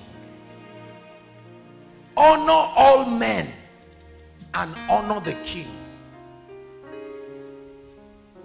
Wisdom is the ability to recognize difference. But honor is the celebration and the rewarding of that difference to honor a man means to celebrate and to reward his uniqueness. That's what it means to honor. To honor a man means to celebrate and reward his uniqueness.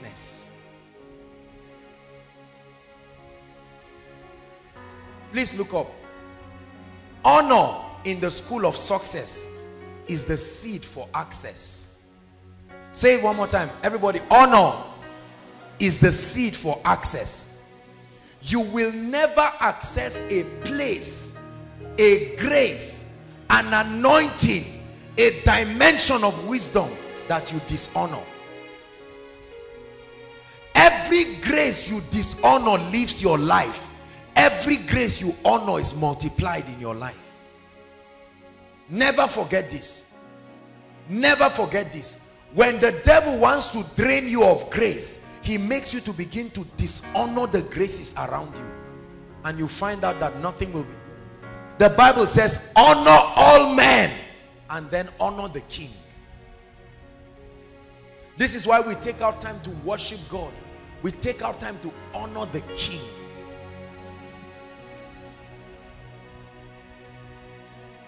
Honor always creates favor. Let me tell you this. If you've been looking for how to create favor in your life, I'm telling you how it comes now. Favor, honor always creates favor 100% of the time. The favor in your life will flow in the direction of honor. You dishonor men, you will never experience favor. Listen, listen. Look at me. This is Pastor, Pete Rock's wife. Get this. Hallelujah. Pastor Pete is my friend. He's my brother in the ministry. I love him so much. He respects me so much and I honor him so much. This is his wife. Are you getting my point? If I treat his wife well, I have communicated that honor. She will speak well about me in the presence of her husband and in the presence of another. Is that true? Is that true? So I am teaching you that the reason why many of us have not seen favor with men is that we have not engaged the law of honor. Many young people do not honor their parents and you do not know why favor does not leave them to you. There's all kinds of disrespect around. The Bible says, honor your father and your mother. Let me tell you why many young people are struggling in Nigeria. I, I want to be very sincere with you. The Bible says, honor your father and your mother. It says, so that your days will be long and it will go well with you. Are you seeing why it's not going well with many people? I know people who stand and look at their parents and insult them. Call their mother prostitute. Call their father drunkard. And it may be true what they are saying. But let me tell you the truth. You dishonor your parents, you are in for failure. Failure that God will not stop except you cry for mercy and change. Is someone getting blessed? Never dishonor elders. I don't care what level of grace you get to. As I am like this, if I see an elderly woman that I know carrying something, maybe she went to grind and all of that. I see mothers around. They go to the engine to go and grind by themselves as old as they are. They put it on their head, they are going. And immediately they are going, you see the child just bouncing out with one lady he calls his girlfriend. Or one guy she calls her boyfriend. They don't even know what they are doing. They are just bouncing and, ah, mom, see ya. And they are going. And the mother is carrying this. This is dishonor. The Bible says if you don't honor your parents, listen to what I'm telling you. It says it will not be well with you. As simple as that. Hallelujah. Oh, I will say it. I will say it. There are many of us, we have no respect at all for elderly people. There are even people that beat their parents. That one is not just that it will not be well with you. You just brought a curse upon your life. If you ever take your hand and beat an elderly person, especially your parents, whether they speak to you or not i am telling you scripturally the bible says a man that curses his father his light shall be taken away and it shall be dim for him. That's what the bible says. I will never never rebuke an elder.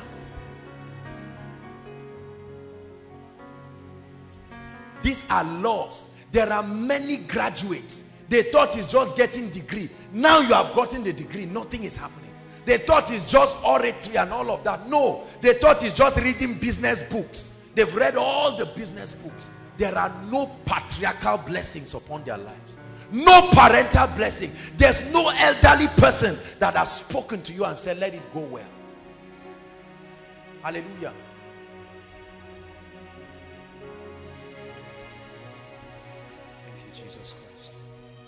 The law of honor. Honor creates favor. What is favor? Favor is someone willing to solve your problems for you. That's favor. When someone is willing to solve your problems for you. Whether financial problems, spiritual problems. When you honor men, you have access to their grace. Look, let me tell you, if a door has been closing again and again and again, especially the door to the grace of a man of God, check well, there is dishonor there. The entire Ten Commandments was all about honor, honoring God and honoring men. God is so obsessed with honor. It's not enough to believe in a man of God. You must honor that man to ever get the grace. I taught this in commanding results. And it's all goodness. I cannot begin to tell you the testimonies that have come from people. Many of us do not honor grace. You allow familiarity. I'm not teaching human worship. Hallelujah. Learn to celebrate greatness when you see it. Please write this down. Learn to celebrate greatness. Never trivialize a man's accomplishments, especially if he's spectacular. You say, this woman is a director in, in, in this particular parastatal. So what about it? Anybody can be a director. Why are you not a director? It's amazing how we trivialize a lot of things. And eh, she's behaving like this. Is it because she's a man of God's wife? What's the big deal about being a man of God's wife? That's why God didn't make you a man of God's wife. See that? Celebrate greatness. I, I, I shared this and I'll say it again. I will never allow a man greater than me to be in a place and he's paying for something I can pay for and it's within my power to pay. I will fight with that man there or that woman, man of God or no man of God. I will fight till I pay for it. But there are many of us. You come and sit down and you see elderly people standing and you just sit down. Say, I beg, forget, oh, this is not the issue of anything. This is my right. You see a lot of people do that. And we laugh about it.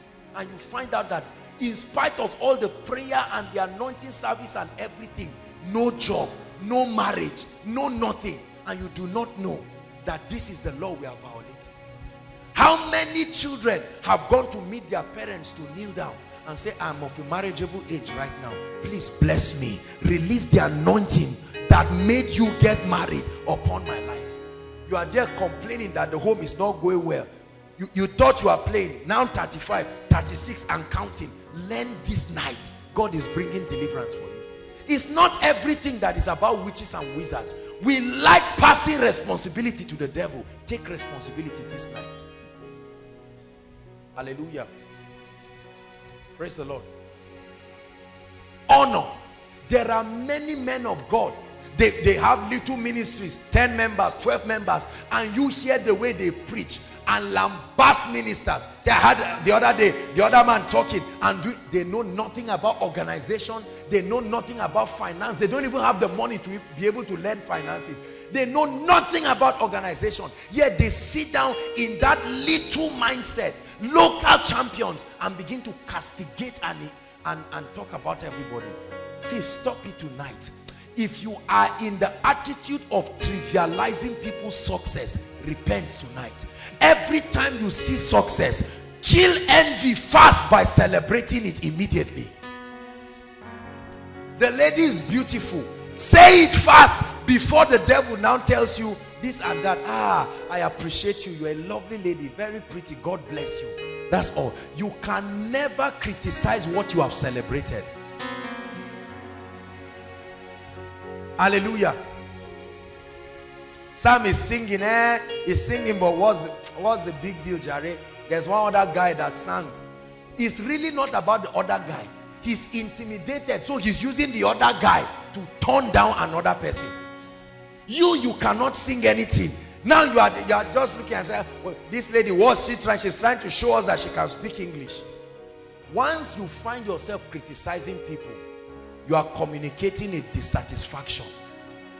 It's natural with human beings manage it through the law of honor are you getting what i'm saying i celebrate men of god i celebrate vessels of honor generously. Many of us are very embarrassed. Let me tell you a few things that you should never do. Look up please. Never try to introduce a pastor or a preacher in your church or your fellowship and say this is not a new person.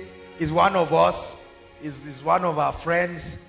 I you know he's not a is a you know a lot of people do that. They say this is one of us uh, and then somebody who has trained and helped and invested in you say he's is an elder uncle just because he cannot accept that he's a great man. And we begin to use all kinds of english. See that? Or if i want to introduce um pete rock's wife now. She was a member of koinonia here before he used his eagle eyes. You know all all of that and then he came and and, and carried and all and all of that. But listen it has changed. Hallelujah. I can keep looking at her and say this and that. Uh-uh. This is my friend's wife and she deserves my honor. And i will honor her any day. I will never see her trekking somewhere and not stop the car to pick her. I don't care where she's going. This is honor. Are you getting my point? Many of you do not know the law of honor i celebrate men in the secret and in the open. I've been following a conference a conference right now. I had to follow mike murdock's conference with david ibiyeomie and i've been listening pastor and eating the videos again and again.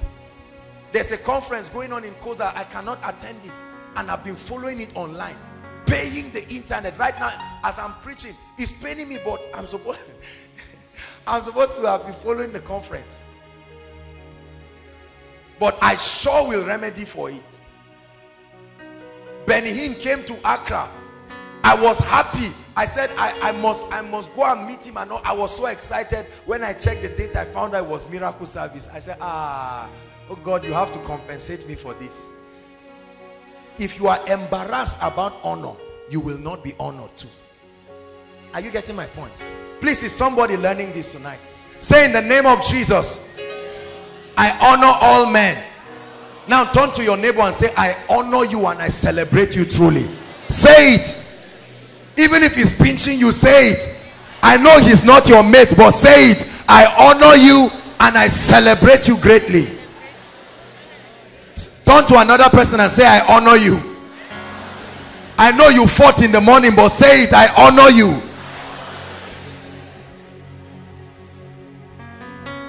Hallelujah.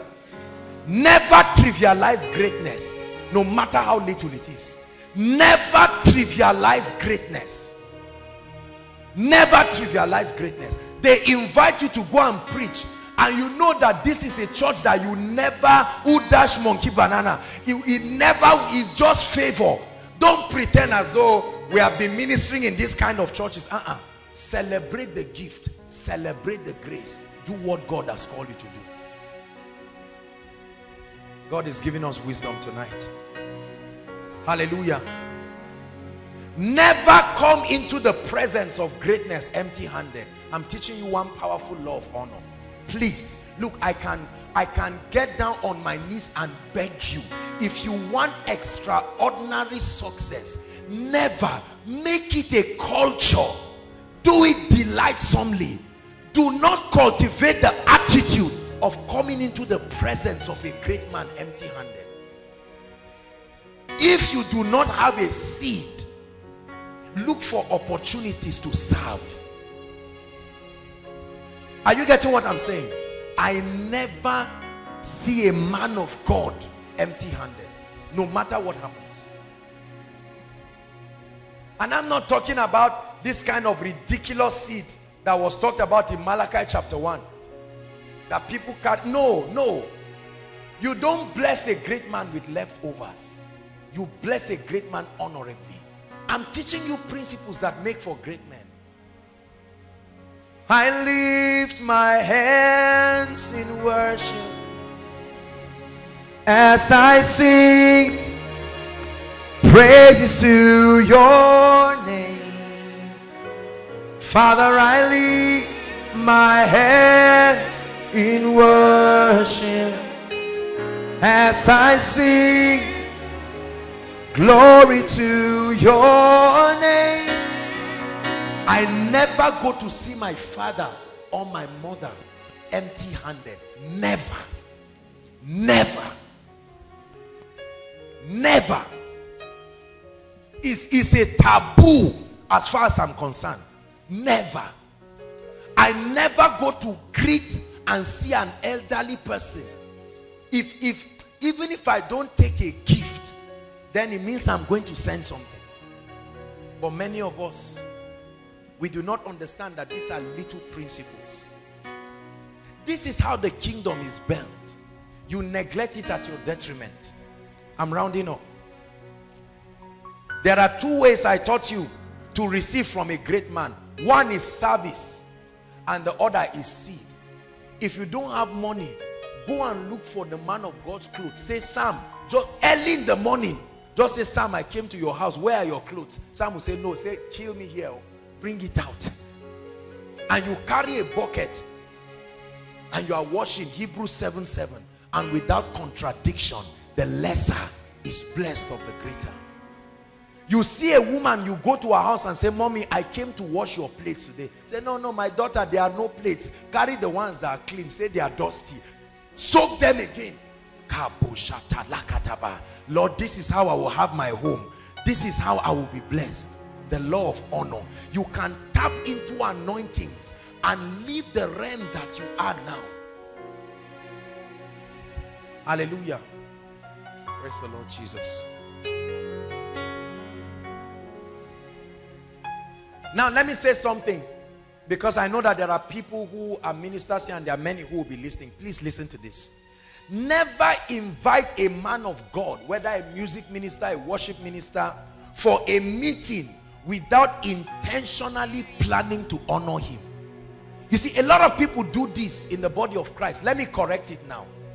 Hallelujah. This is an apostolic ministry. We speak to the body of Christ. And I'm speaking to the body of Christ. It must be corrected. Never invite a man of God that you do not have capacity to bless his grace or his gift. Are you getting my point? There are many people who want to bring every great man of God, but they are not prepared. If I am going to bring Desmond as a professional decorator, for instance, I must have the ability to honor his grace. If I cannot, use what you have. Please, is somebody getting blessed? There are so many people. I want to invite this. I want to invite that. There are so many men of God that have been pained because people just invite them. Come for a meeting and they never make adequate arrangement. There are laws and principles in this ministry. There are very few men of God who have invited here. And I can tell you this with all humility. When we invite a man of God, we, we prepare as if it's marriage. Because if we think that grace is not enough to bless us, then we better not invite him. Are you getting my point? When we invite a man of God right from the junction, the protocol department is waiting for him. When he gets there, they pick him. There are people who invite a man of God, and it's when he comes, you go and you keep him standing, and you are paying for his hotel room. He says, Sorry, how much is this room? Is it double or single, standard or this thing? And the man, is, you have been planning for a meeting for a long time. Are you getting my point? Now Pastor Williams is just standing. And you are wondering, or a man of God that you invite, you say, has he come? He's outside. You just say, sorry, please stand up, stand up. Keep these two seats. Sir, you are welcome. What are you doing? You are not intentional about the spirit of excellence. And now I know that many people have not been trained to recognize this. But I want you to know, you will never receive maximally from an anointing that you do not honor. I have found myself teaching and pouring myself in meetings because of the way that I was honored. They honored me from my arrival to my departure. And I found out that there was an unusual flow of grace. I, I went the extra mile to have maybe meetings with leaders or people like that because of honor. But there are meetings you go for, you can't wait for the last session. Immediately it finishes, you just, you just everybody pack your load and let's leave this place. Never make your ministry like that. There are four things that you must look at when you are inviting a man of God. Let me use the opportunity and say this. Number one, his hospitality. Hospitality. Especially when you are, it's okay if you are inviting a man of God that is within your region. Please say it because this has not been taught in the body of Christ. Number one, hospitality. Never carry a man of God and come and frustrate him in a place because you think you are invited. No, don't do that. Hospitality. Hallelujah. Prepare very well. Let the man of God eat well. If he's fasting, ask him. Don't assume. Don't say, bring only dinner. I already know this guy. He's always fasting. What if he's not fasting that day?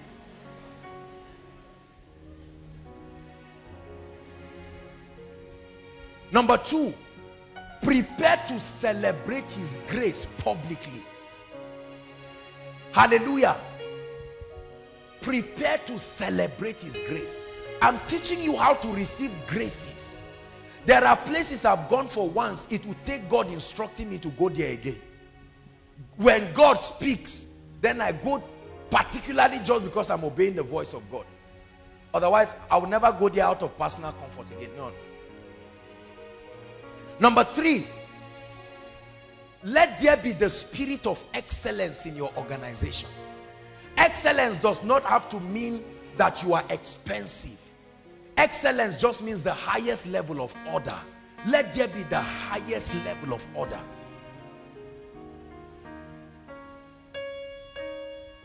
And then number four, honor the man.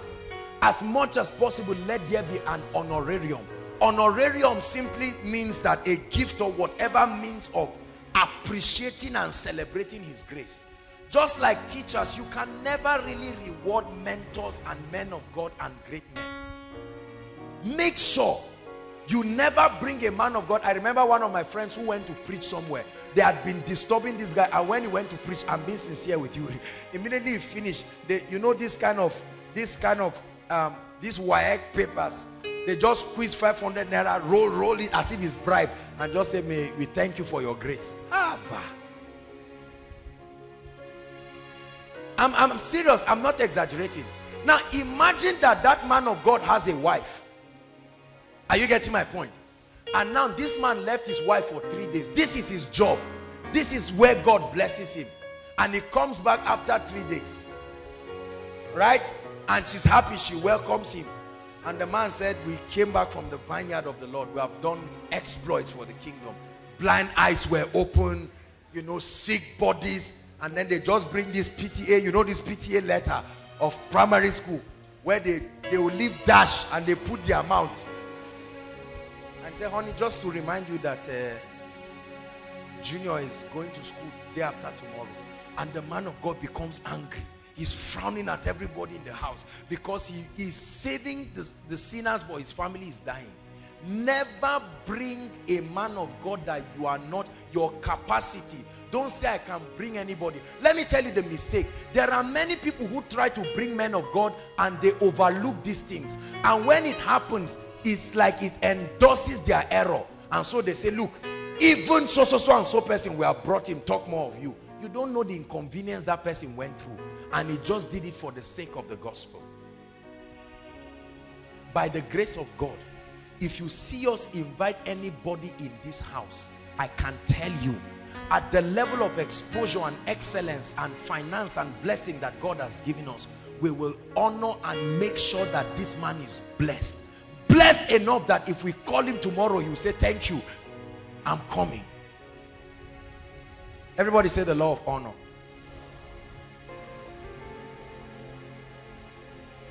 personal disobedience.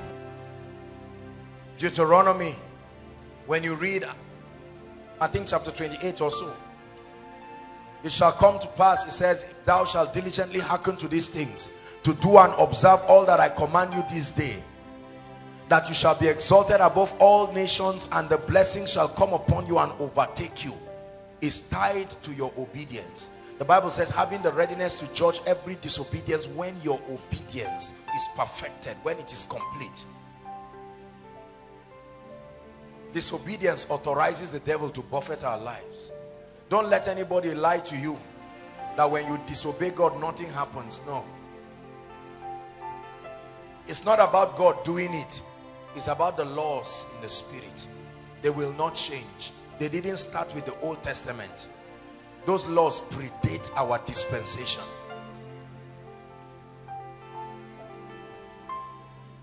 Are we together now? So tonight, I want you to look at your life very carefully. Especially for those of us who have come. Have you not seen traces of the influence of darkness in one area or the other? That does not mean you are not born again. That does not mean you are not serious with God. But it's time tonight on behalf of you and your family members to rise up and say, no way, I come by the blood. I come to challenge these things. There are many of us, you have never received a testimony of any good thing that anybody has done in your life. Somebody buys a recharge card to give you, it disappears physically. That's, that's the extent to which this thing is working against you. Have you seen people like that? A guy tells a lady, I love you, car will jam him two hours later. Just for trying to verbalize that I'm considering marrying you. Car jams him. His friend now comes and says, since my friend has come, me too, I love you. Something happens. Let me tell you the meaning of that. It puts a stigma on you and your family. Are you getting me now? And they say, these people, there is death. Have you not seen lands that people bought land to build house? Why do you think we dedicate properties? Why do you think we pour oil on land? I know a man who bought a property and went there to stroll in the night and received a slap in the in the in the land. True, true story. Because the spirit there does not care whether you paid for it. Gave him a slap. When, listen, when I was in secondary school, we were in a temporal site before they moved us to the, the permanent site. That temporal site used to be a hospital. Are you getting the point?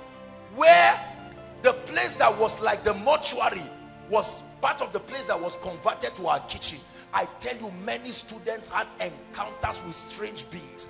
You are entering to ease yourself and you will just hear sounds. Sounds that can give you a headache for a long time. I remember our school getting ultimate power so that we'll watch as their own strategy to deliver us from this, this nonsense. Many students were initiated into occultism because of that. But tonight, we come in the name of the Lord, the captain of the army. That this situation in your life must end. I sat back there fighting tears when all the people were sharing their testimonies. A testimony is simply what happens when the Holy Spirit becomes the only influence in a man's life. Any other spirit must create problems. Tonight, daddy, mommy, sisters and brothers, there is need to deal with certain things in our lives. I saw poverty in my family as if we offended God. Coming from a pastor's family didn't change my family background.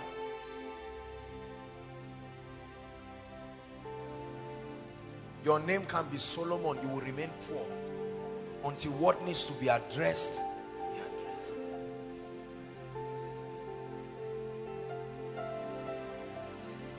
That's why I told you tonight will be a night of massive deliverance. Listen, as we begin to pray, many of you who are sick will all of a sudden turn and find out that the sickness has gone. Really, when you understand this, you will know what a miracle is. A miracle is what happens when the spirit that is causing that ailment departs. This is what Jesus did to the woman who was bound. He looked at her in the spirit and he saw that a spirit had tied her for 18 years. And he said, woman, thou art loose. Loose? He didn't say thou art healed. He said thou art loose. The moment the spirit left, he laid hands on her and straightened the physical body. And there she went. Remember that madman at gathering? That was an evangelist in a cave. Tearing himself into pieces the moment the spirit heard that Jesus was coming, they were waiting for him at the other side. Hallelujah. Mighty on your throne. Mighty on your throne. I'll never forget one time I was praying, praying seriously. I was in the spirit and I had a vision. I saw that there is a tree that is close to uh, where I stay and I didn't see that tree again. I just saw a great beast like like a like a being. The tail was a snake. The eyes were big like human head. Imagine this head now like an eye. Two of them, one here, one here. And the spirit was looking at me with fierce anger. And all he told me is, so you think you can bring God's people into prosperity. And then it left. That was it. Mighty on your throne. Mighty on your throne. That's the reason why every time Satan wants to destroy you, the devil will now cause you to disrespect that person. So your mother may be an anointed woman and you will fight and tear and say over my dead body for you to pray with me. And Satan will say amen. Let's go. And then the oppression starts. Because your pride and your arrogance will not allow you to go to the person and say help me. Tonight we are going to cry to the king of kings. I don't know if you came for this miracle service especially for those who are family people here. You should never go back the same. You see the results of people 4.8 5 points they have always had that ability even when they were getting one point. It's a spirit that makes that happen. Don't let anyone fool you. You are not so daft. Human beings were created intelligent. When you enter an exam hall and you write nonsense and come out with zero and smile and say it's just because I didn't read well is that really true? How many of you watch film twice to explain it you sit down and watch a three-hour film once and you can come out and recite that film completely with the hair of the actor's wife. And that was you didn't read for it yet you spent six months or five months reading for one course. And then at the end of it you come and fail it and get nonsense. And you keep convincing yourself it's just that I didn't get it. It is the reason why you can read a novel of 1,000 pages but a lifetime you can't read half of the Bible because there is a spirit stopping you. If this was a novel some of us will say take this. I will bring it for you next week Friday and you will exhaust it. But from the day you were born the day you were born till today you have not read up to one third of the Bible one time you cried and prayed and fasted and started and three days later.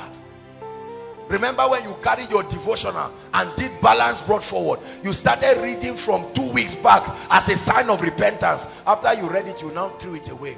Because you cannot help yourself in the flesh. It takes the anointing of the spirit. That's why he sends carpenters. That's why he puts miracle services like this. So that you can come under the influence of God's power how about genotype issues? Ss you get up and find out you are ss or as do you know the bible never mentions the issue of ss or as are you aware of that? That thing was a technology that was fabricated by satan to stop people from getting married. You see a beautiful lady who has a prophet in her womb to come and then one spirit just brings one one demonic report called ss and they say sorry we can't join you because you are going to kill your children for that devil is a liar in this place tonight.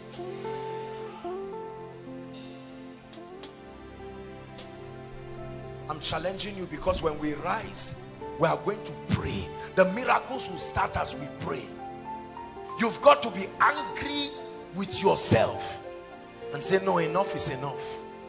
Enough is enough we are come to mount zion where there is an innumerable company of angels where there is the blood of sprinkling the blood of sprinkling that speaketh better things than any covenant that speaketh better things than any ordinance. The good news is that jesus has paid the price. Our job is to enforce that victory. Are you getting my point? We enforce that victory by engaging the mysteries of the kingdom that bring for liberty we are going to pray that that power that has tied our destinies down, it must let us go. Same power that conquered the grave lives in me, lives in me. Your love that rescued the earth lives in me, lives in me. Same power that conquered the grave lives in me, lives in me. Yeah, your love that rescued the earth lives in me, lives in me. Sing it two more times with faith in your heart. Same power that conquered the grave lives in me, lives in me. Your love that rescued the earth lives in me, lives in me. Jump up on your feet and sing it one more time. Same power conquered the grave lives in me, lives in me. Your love that rescued the earth lives in me, lives in me. One more time with faith in your spirit. Same power that conquered the grave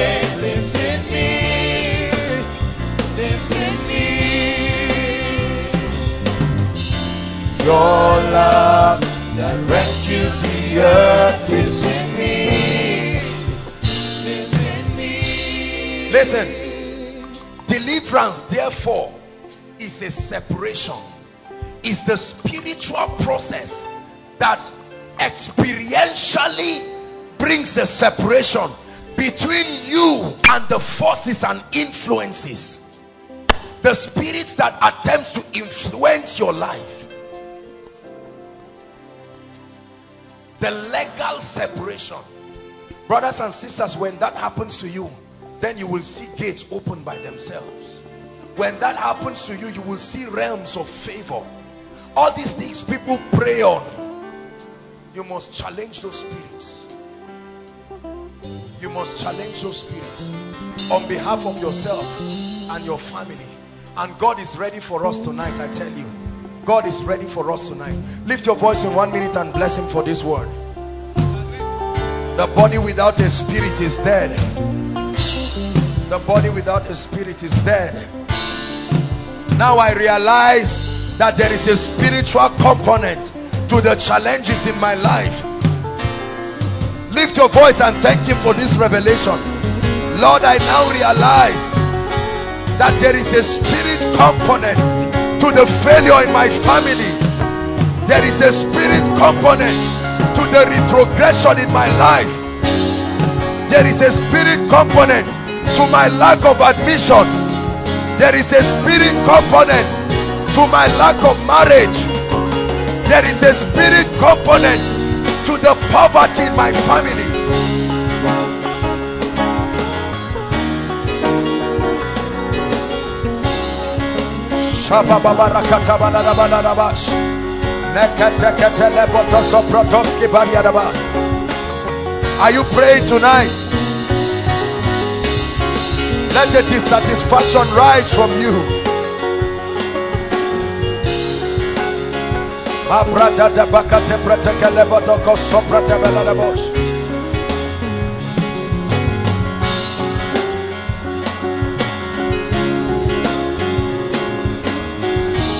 Oh, come on, tonight is your night of liberty.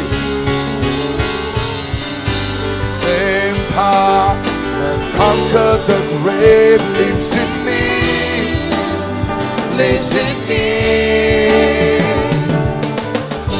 Your love that rescued the earth lives in me, lives in me. Just the voices, sing it from your heart. Same that conquered the grave lives in me, lives in me. The power that can challenge any altar. The power that can challenge any force of witchcraft. Any generational curse. One more time, sing it. that conquer the grave lives in me lives in me your love that rescued the earth lives in me lives in me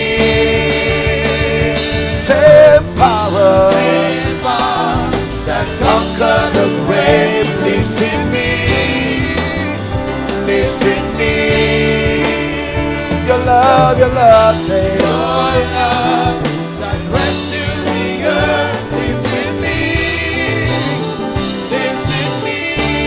Hallelujah. Lift up your voice right now and mention everything you know that is a tragic event in your life and challenge it. Say it must stop tonight. Lift your voice. Oh, come on, Koinonia, you should be praying.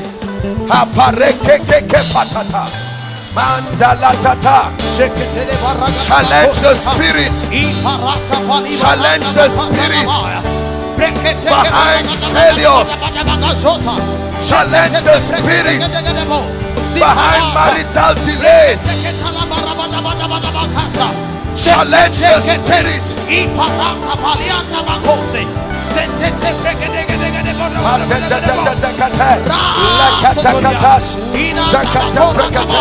Challenge the spirit of death from your family. Challenge the spirit of death. Challenge the spirit. Challenge the spirit. He must let you go tonight. He must let you go tonight. Those outside, I hope you are praying. This is your destiny tonight.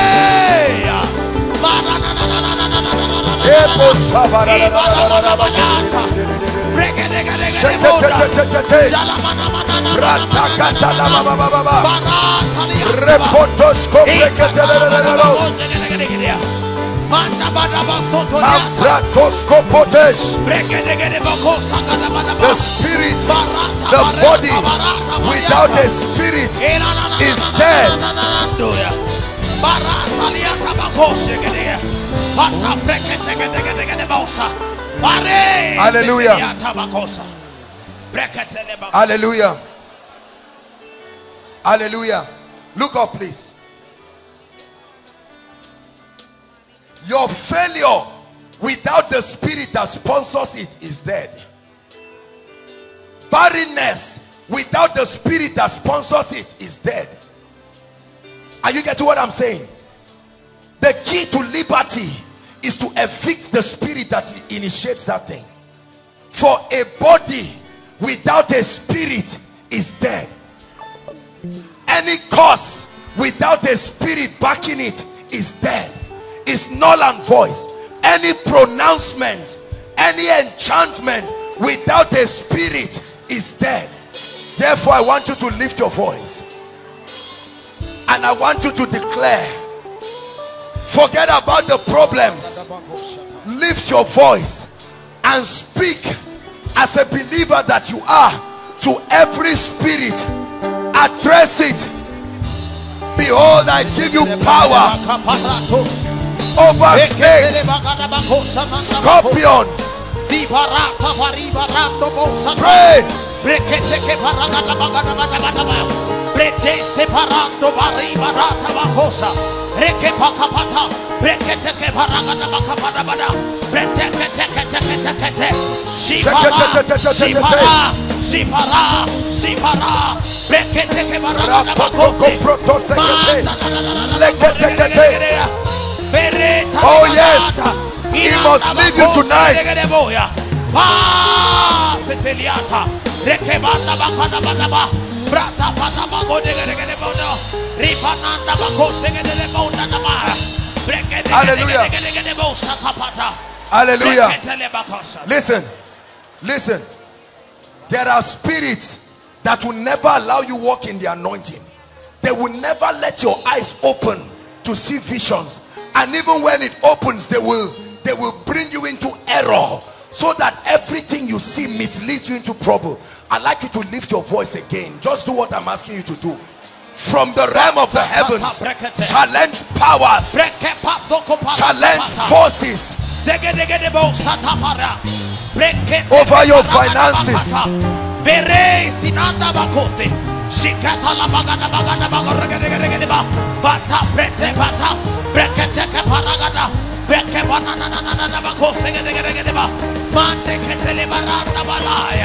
Ina tolianda bausa, bretete ba, ba sotoliata, ba,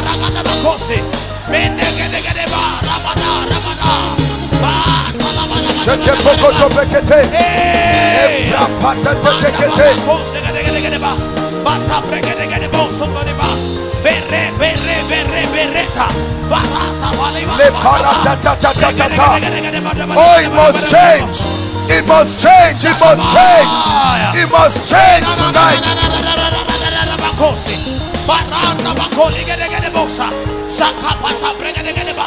Barata Hallelujah. Lift your hands. My goodness. It's a strong anointing in this place. Oh, it must let you go tonight. Who says that breakthrough will not come? Who says that marriage will not come? Who says that cancer cannot die?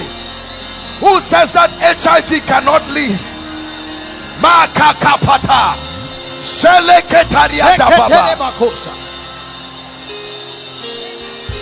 Lift your hands to the heavens.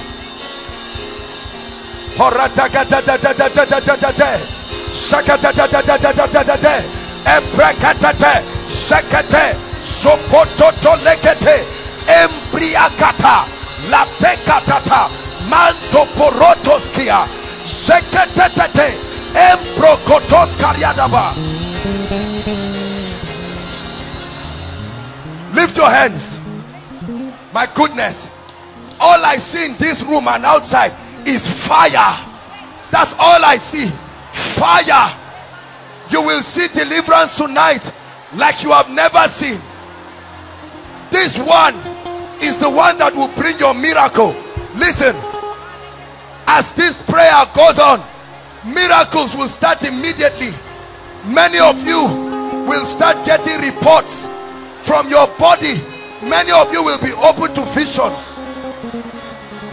Right now, lift your hands.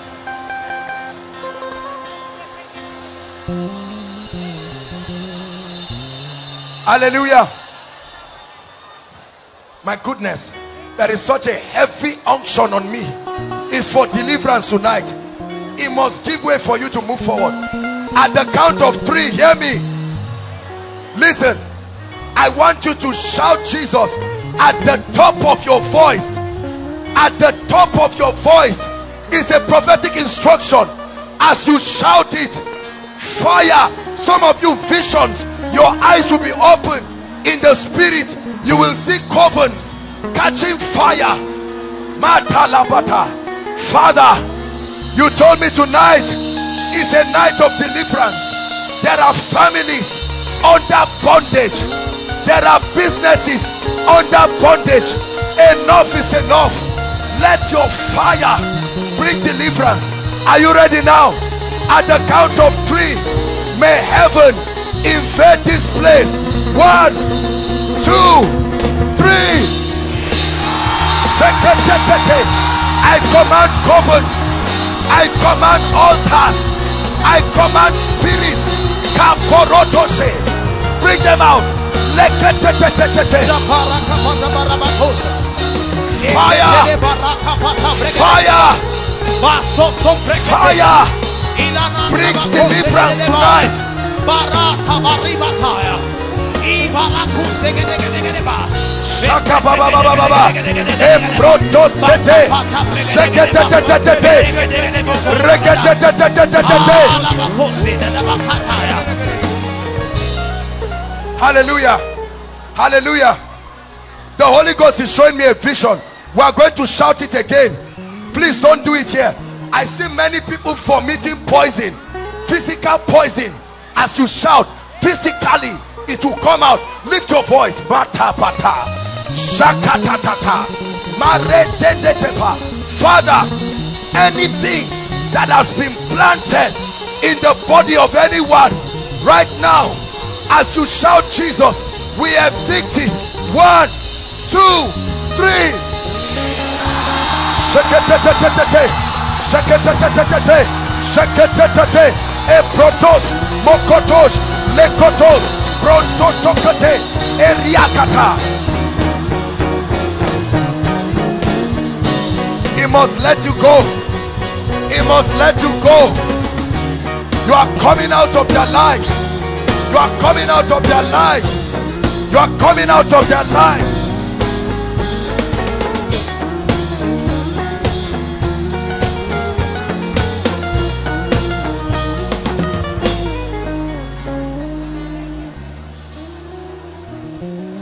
My goodness, fire is burning in this place. Fire is burning in this place. Fire is burning in this place. The devil must let you go. The devil must let you go. The devil must let you go. The Lord is giving me a word right now. There are ladies here. There is a spirit that comes to you in the night to oppress you, to sleep with you. Right now, Lord, where are they? Let that fire, let that fire bring deliverance right now, right now, right now, right now.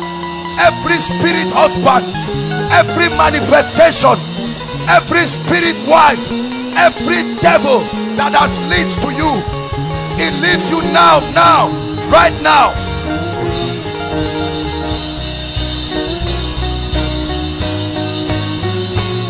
Must leave you now.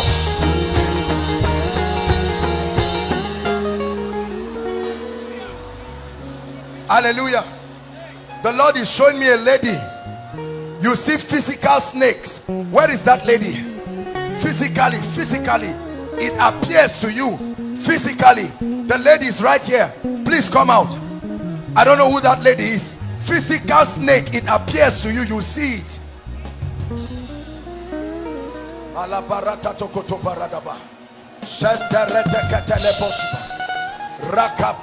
supatina malada. Let me tell you something. After this miracle service, you will see advancement in your life in a way that will surprise you. That's when you will know that Satan is not as powerful as it looks.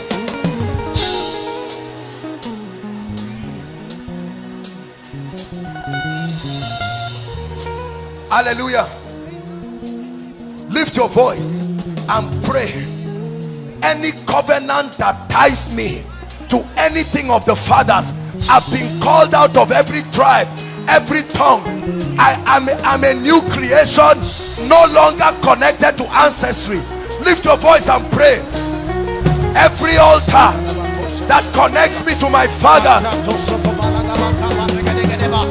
every witchcraft that attempts to connect me. No, I'm in Christ. I'm in Christ. I'm in Christ. I'm in Christ.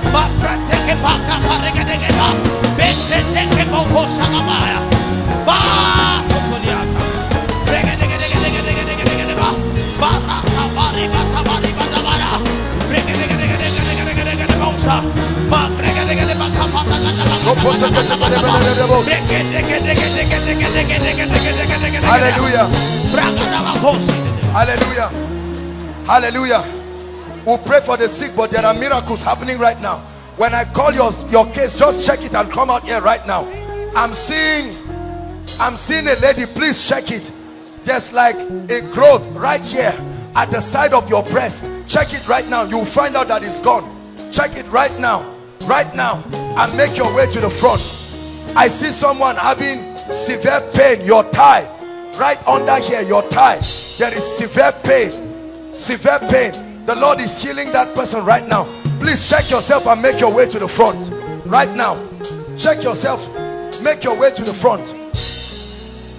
I'm seeing two ladies. You came here with heaviness. There is heaviness on your chest. It's just like something heavy. God is healing people. Can you appreciate Jesus? Hallelujah. There are miracles happening. Make your way to the front now. We'll give you room to testify. Stand here. All the people that are coming out for miracles, just stand here. Right now, there are miracles that are happening. I see someone like your nose. It's like there is an irritation in your nose. While we were praying, you felt like there was fire on it, and now it's lifted. Now it's lifted completely. It's gone right now. Right now. Right now.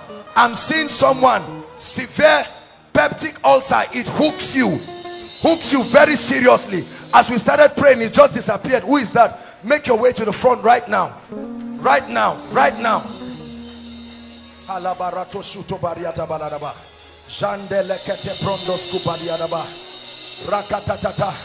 I see a lady. You hear a voice telling you you will die. Not a vision. A physical voice. Physical voice. It tells you you will die. A physical voice. Physical voice. It speaks to you physically. Can you help me? All the please, if I don't call anybody's case, I'm going to pray for the sick. I'm calling miracles. Cases that have happened, help me. Um, Aaron, would you help me?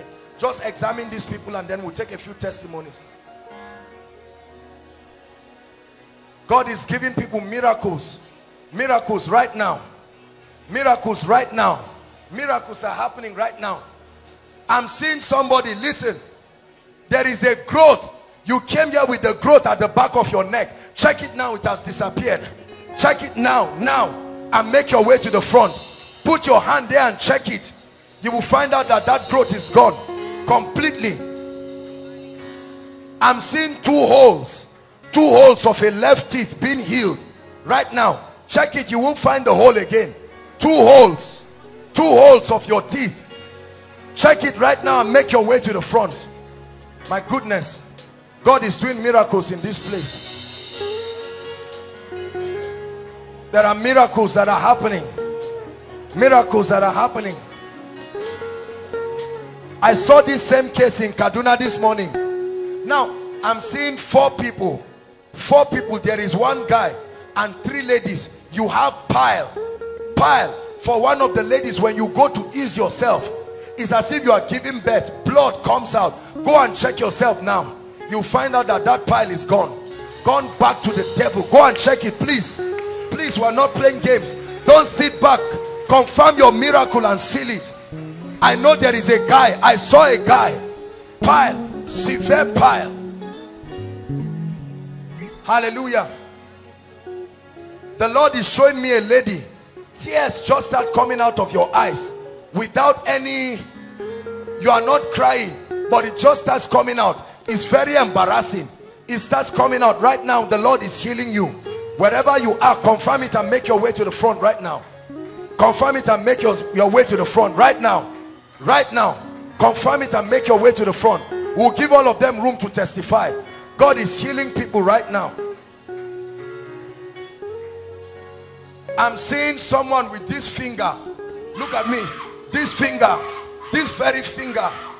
That's what the Lord is showing me. There is a miracle happening on that finger. This very one. I don't know if it broke or something happened to it but there is a miracle happening to that finger right now. Right now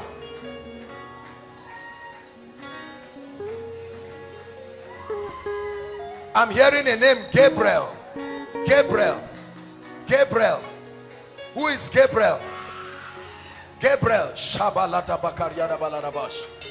gabriel the lord is bringing a a miracle for Gabriel. Gabriel. I've been fighting this name, but let me bring it out. I'm hearing a name Asabe. I don't know if it's a woman or somebody in a family. Asabe. Asabe, I'm hearing that name. Who is Asabe? Please confirm. Make sure you confirm it. Let's not. Huh? You are Asabe. Uh, but I'm seeing another person again. Oh. Eh? This, you are, please stand here. Miracles everywhere. Come, tell us very quickly. Come, come. Please help us. Give Aaron. Let's let's coordinate them. Okay, come, sir. Let's just listen to this. Give them the mic, Lawrence. Just testify. Tell us, look at the crowd, straight to the point. What happened to you? What is the miracle? Praise the Lord. I am the girl who the man of God prophesied. I have an irritation in my nose since 2012. 2012. And now what happened? Every day, once I put my hand, I, I always notice blood coming out. But now, I felt something drop out of my nose. That devil leaves you forever. In the name of Jesus Christ. Free. Give Jesus praise. God is doing miracles here. All kinds of miracles are happening in this place. Please, the next people, let's have them come very quickly. Just turn and let's testify. Don't look at me, look at the crowd. Praise the Lord. Hallelujah. I, I have this burning While we are sensation. talking, there is a lady who will come sensation. strongly under the anointing outside. Please that lady and bring her. As we are talking, the power of God is, in fact, two ladies. Two ladies outside, mightily by the anointing. Please pick them and bring them. Yes, ma'am. Hallelujah. On my left thigh, I have this burning sensation. I don't even know what cause, but I know that once it starts, it burns me as if I'm sitting on fire. Okay. But now it's gone. And since last hearing this voice saying I will die, even when I was coming last week, I had this fear that I was going to. But right now, gone. completely gone. Give Jesus praise. God bless you. Yes, please. Check yourself. If you see a miracle, you can come out. We are going to pray for the sick, but we want to take testimonies. We'll give you an opportunity to tell us what God is doing. Mama, please stand up. Please don't let Mama sit down for God's sake. Give her a chair. Mama should not be kneeling down. Praise the Yes, Lord. please. Sometimes I normally feel pains in my chest. Sometimes I normally feel pains in my chest, but now I feel very. Breathe in and out. Breathe in and out. Any pain? Any pain? Is there any pain? Is there any pain? Give Jesus praise. Yes, please. Praise God. While he was preaching, I was having peptic ulcer. So Peptic had ulcer. out. But while we started praying, it left me. And There's I, one more outside. Go and carry her. She's- it left me immediately. Now I'm not feeling it again. No pain again. Give Jesus praise. Yes, ma'am. Praise the, praise the Lord. I to have this heavy pain on my chest since 2002. But um, when I went to see the doctor, they said it was pneumonia. It's, sometimes I can't breathe. Pneumonia. But the pastor said I should, we should shout Jesus. I can't breathe. I can't shout too much. But the moment I shout Jesus, I fell on the floor. Everything just left you. No pain again. Praise the Lord. Let me pray for you. It never returns to you.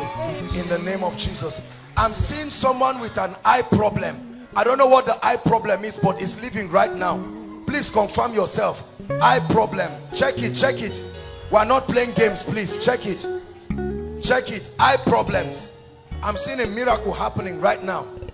Eye problem. Confirm it and come out right now. I'm seeing this at least 10 people with this case at least 10 like the lower abdominal region right here you've been having se severe pain it's like something pulls you there. Check it right now. You'll find out that you receive a miracle. At least 10 people please make your way to the front. At least 10 people check it right now. God is doing a miracle. Don't sit back. Inside and outside. Lower abdominal region. Lower abdominal region. That miracle is happening right now. Right now. Right now. At least 10 people. 10 people with that pain. As soon as you check it make your way to the front celebrate jesus. God is healing them. They are coming. They are coming. All of you you can come and stand here. The moment you receive a miracle please stand here. They will confirm you. At least 10 ladies right at this lower abdominal region. Hallelujah. I'm seeing a gentleman. You came here with a throat condition.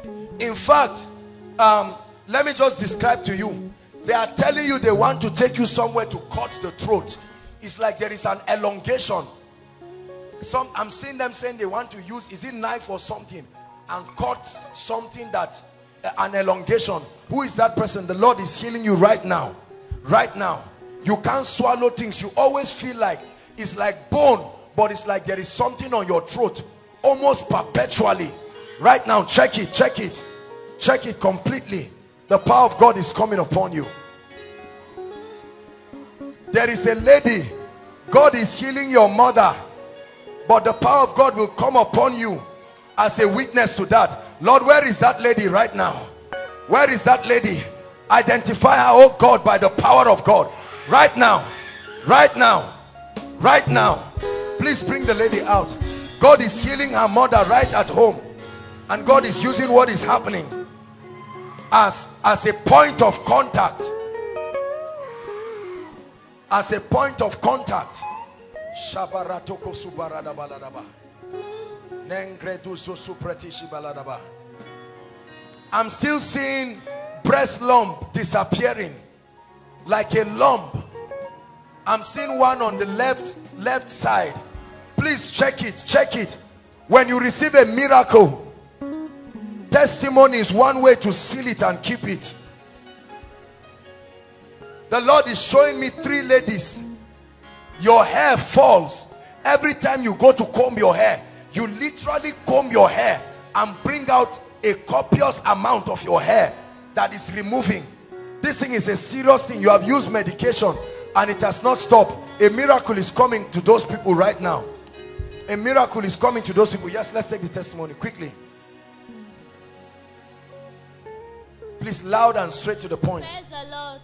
Help us sound, please. Can you help us with this mic? I used to have these pains down my stomach here, but now I'm, I'm not feeling Completely okay. gone. Yes. Are you sure? How long has it been? Come on, Koinonia. Let's not get too used to miracles in this place. Hallelujah. It never returns to you in the name of Jesus Christ. The next person, please. My goodness, look at what God is doing. God is giving people miracles. Go ahead. My like I'm pregnant. It will come like pain as in like I'm pregnant and I've been complaining that for months. But today, when the prayer was going on, I felt relief and my stomach is In fact, as she was talking, hold on. The Lord opened my eyes. There is a lady. Your stomach is already swelling. This is almost, it's even beginning to embarrass you. It's not just like a stomach protruding. You are feeling it very hard and stiff. It's, you are afraid because it's looking like it's a situation of a fibroid. Please check it right now. God is giving you a miracle. God is giving you a miracle. God bless you. Bless you quickly. When they say we should shout praise the Lord, so I now shout. The stomach used to pain me even before I come to Zaria, but I can't feel it again. Yeah. Give Jesus praise. It never returns again. Yes, please. Praise the Lord. Um, recently, I started having this eye pain when I'm walking, doing other things. One of the eye get blank and I don't see again. But now, after the prayers, I feel one sharp pain and I used to have this abdominal pain almost all the time, but it just left me immediately.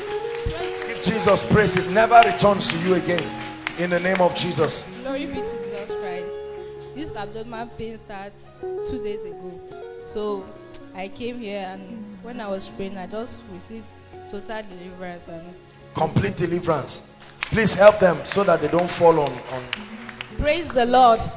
The abdominal pain normally comes and goes, and when I was outside, I was still feeling my stomach hooking, such that I could not stand well. I was bending, and then when the man of God spoke, I got up and stretched, and to the glory Completely, of the Lord, no pain again. Come on, give Jesus praise.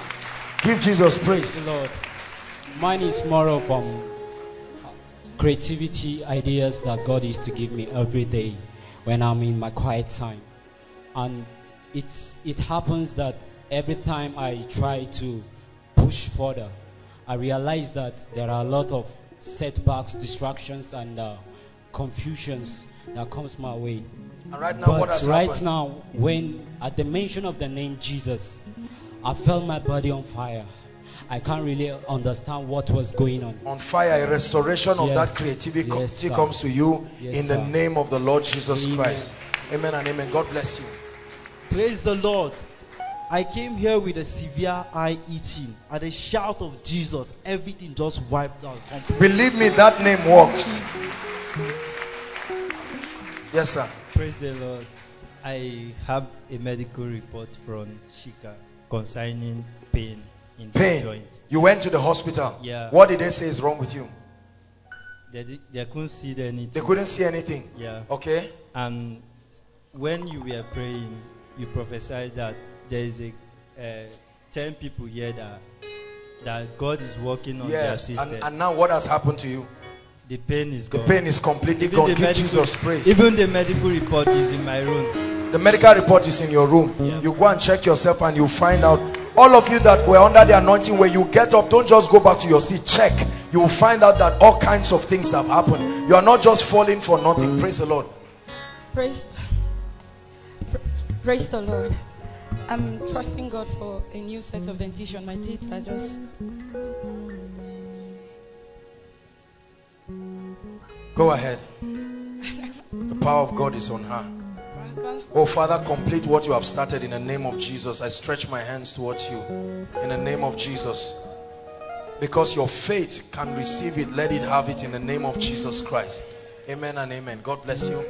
Next person, please. Praise the Lord. After we take these three people, When um, it's okay. um, there's this pain I usually used to have by um, from under my armpit to the left side of my breast. Okay. So when um, you mentioned the keys, I was not too sure if I was the one. But later you specified by saying the, your left side of your breast. I noticed eh, like swelling up, and sometimes I very I feel Like very, a swelling there. Yeah. And feel- now, have you checked it? Yes. I, Is there I- anything I there? feel Completely gone. Come on, give Jesus praise. It never returns again in the name of Jesus Christ. Praise the Lord. I want to thank God for the spirit of fear, as in I do get scared a lot, but I now I'm free in the name The of spirit of fear. Come. It never returns to you again by the power of the Holy Ghost. You are free from the spirit of fear in Jesus' name. Yes, Praise please. the Lord. I want to I want to thank God for healing me from the lower abdomen. I used to have this pain right from child when, when I was when I was young. I used to have this pain. But when you were praying and you asked us to shout Jesus, I I feel relieved. I just want to Completely. thank God. Hallelujah. Praise the Lord. God bless you, my dear. Praise God. Praise the name of the Lord. I don't know, sometimes 2nd of August, this very month, this my middle finger. Help her. Fire is landing on people. I started having pain around this region, affecting this finger mostly. I ca- can barely use it, but since he prayed during the miracle session, I got healed. I announced- I I've saw been that shaking, lady, I've a been finger. shaking it. I've been shaking it and I'm No pain now. Come on, no give pain. Jesus praise, everybody. Where are the two ladies, Asabe, that I called? I called some two ladies, Asabe. The Lord is changing the story of your family. Listen, Mama is Asabe. Huh? Please, you people should not stress Mama. If she's if she's out because she's sick, Mama Kizonaza make her do Please, you people should not stress this old woman. She should, even when she's coming out, carry her with the chair and just keep her here. We'll pray for her. Please. The Lord is, is wiping the tears in your family. You believe that? When a word comes like this, it comes to give you liberty. Hold my hands. Father, in the name of Jesus, I end this oppression in this family right now. It goes forever in the name of Jesus. Who has an elder brother? Who has an elder brother? Do, do you have an elder brother? Yes. What is he doing? He's a carpenter. He's a carpenter. Yes. The person I'm, I'm talking about didn't go to school. Oh. Is your brother. Where is he? He's in the village. He's in the village. God is going to lift him. What is this thing that I'm seeing them laughing at him and they are saying it? It's not his fault that he didn't go to school. Even you is by the grace of God that you are here. It's not like maybe it's that your, your people are sponsoring you and all of that. It's the favor of God. Yes. But God, as a sign, go and tell him, call him after koinonia, that the Lord said he's going to connect him to a rich man. He should be faithful to that man. That man will bless him. Father, let there be breakthrough in this family. In the name of Jesus. Asabe, Gabriel. Oh, your name is Gabriel. Your name too is Gabriel, sir. Who is Titi Layo? Titi Layo. I'm hearing a name, Titi Layo. Please, let's save time. Our time is gone. Um, we still have to pray for the sick. Titi Layo. I'm hearing the name Titi Layo. Titi Layo. Who is working here, sir? You're, you're working. You're both working. Okay. I'm going to pray for you because I'm seeing the Lord bringing. The Lord is. Sir, it won't be too long. You are leaving Gusau. We spoke, at least we spoke. That one is not word of knowledge. We, we spoke about it, but it won't be too long. The Lord is lifting you to another place. Go and write it down. This will happen to you. It won't be too long. Write it down. You will come back and testify before them. It's not a disadvantage. It's something that will bless you in no small way. Because you have come with your heart open. In the name of the Lord Jesus Christ. Father, I lay my hands, I pray right now that you bring your word to pass concerning his life in the name of the Lord Jesus Christ. I hear breakthrough for you, sir. This is what I hear. The Lord is saying I should announce breakthrough to you. Father, I hold his hands and I announce breakthrough in Jesus' name. Praise the Lord.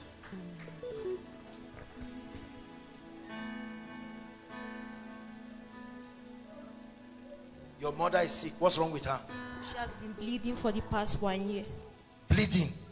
You, you can see the kind of demonic thing we are talking about here. Huh? Your mother bleeding for one year non-stop. How about that? And you fell under the anointing. No, sir. You- are just standing to agree for her. Okay, no problem. We have a session for that. But since you came out, hold my hands. Hold my hands. Look at me. Do you believe God will touch your mother? Where is she? Where is home? Taraba. Taraba State. Yes, sir. You are from Taraba. Yes, sir. Lord, show Mama mercy right now in the name of Jesus Christ. As it touches you, it touches her. Please don't just come out at will. Ah, you are related to her? Your sister is Titilayo. Yes, sir. Where is she? She's in Kaduna. What's she doing? She's schooling at Kaduna. She's schooling. Okay, let's pray for her. Father, in the name of Jesus Christ, what are you doing? You. I'm a student, sir. Where? KPSS. Eh? Knowledge is power. Secondary school. Okay, knowledge is power. Yes. Your sister is where? Kaduna. Kaduna. Yes, sir. Tell her, is she married? No, sir. Tell her marriage is coming for her. Are you hearing me? You believe it? Because she has been praying about this. Your mother, where's your mother? Your mother has been joining her to pray. Yes, your sir. mother even went to a man of God and they prayed about this thing. Is that true? Your mother went to a man of God to pray. Go and tell her that the Lord is saying marriage comes for her. In the name of the Lord Jesus Christ. Our God is an awesome God. He reigns. Hallelujah. Now, please, this is the time to minister especially to sick people. You know the nature of our programs here. We will need a lot of time. So if you are not sick, if you are escorting somebody, please just bring the person and go back. And once they pray for you, don't wait for another prayer. One touch is okay. Some of you, when they pray for you, you refuse, you still stand back. Please, once they pray for you, just check yourself and go back. Praise the Lord. And then don't keep going back and coming out and saying you are doing this and that. If you came with somebody who is sick, now is the time to bring them out while we are praying. Please arrange them. Now is mama's time. All this, all our mothers, they can make their way now. Our God is an awesome God. He reigns from heaven above with wisdom, power, and love. Our God is an awesome God. Our God. Please clear the way for them. Clear the way for sick people. Those under the anointing, just just carry them and keep them gently somewhere.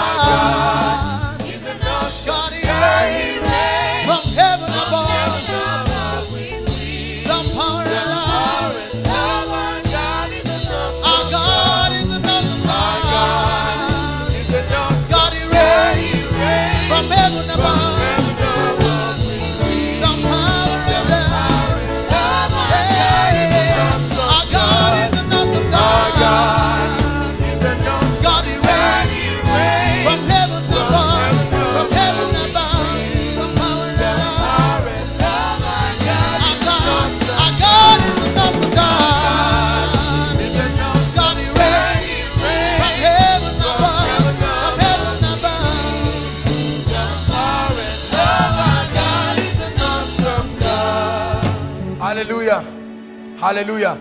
Now let's save time. While we're praying for the sick, all of you begin to submit your prayer request. Please, I permit you to put on your phone. If you need to call your loved ones to send you prayer requests, call them. Because what God is doing tonight is unusual. Call them and tell them there's fire upon this place. They should submit their prayer requests. Ushers, please begin to go around. Those online, those who are connecting with us through the internet, they can also connect by faith as we trust God for miracles. Worship team, please get set. You'll be giving us powerful worship songs. We'll just pray for our elderly ones. Let the Lord touch them and then he will give us peace. Please and please, um, when we pray for you, you clear the way. You do mighty things. You do glorious things. Stretch your hands and let's pray for our mother. Awesome is your name.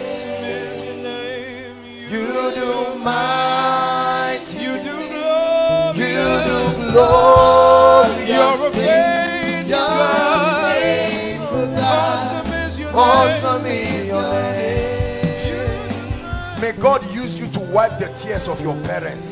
Listen, let me tell you, any child, hear me, I'm saying this especially to we young people. Any child that makes himself an instrument of pain to your mother, do you know you bring a curse upon your life when you do that? Whatever spirit is bringing hardship on our mother and making her children not to succeed the way it should. Pray for her children in the name of Jesus Christ.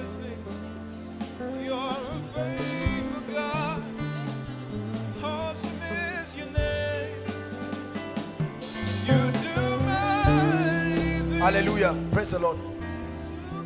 Welcome, sir. Please sit down. Who's your dad? Welcome, sir.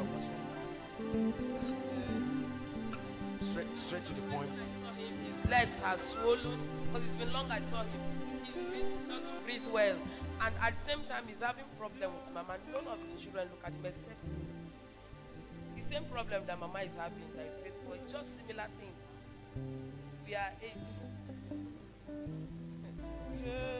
Oh, it's paining you, sir. We are going to pray for you right now. Father, in the name of Jesus Christ, stretch your hands towards our daddy. Please participate in the service. That's why you came. Hallelujah. No, no, no. Daddy, sit down. Please sit down. Sit down. Please, let's stretch our hands. 25 years of witchcraft. This is witchcraft. This is not sickness. 25 years of wickedness and oppression. Father, in the name of Jesus Christ, let there be deliverance, oh God.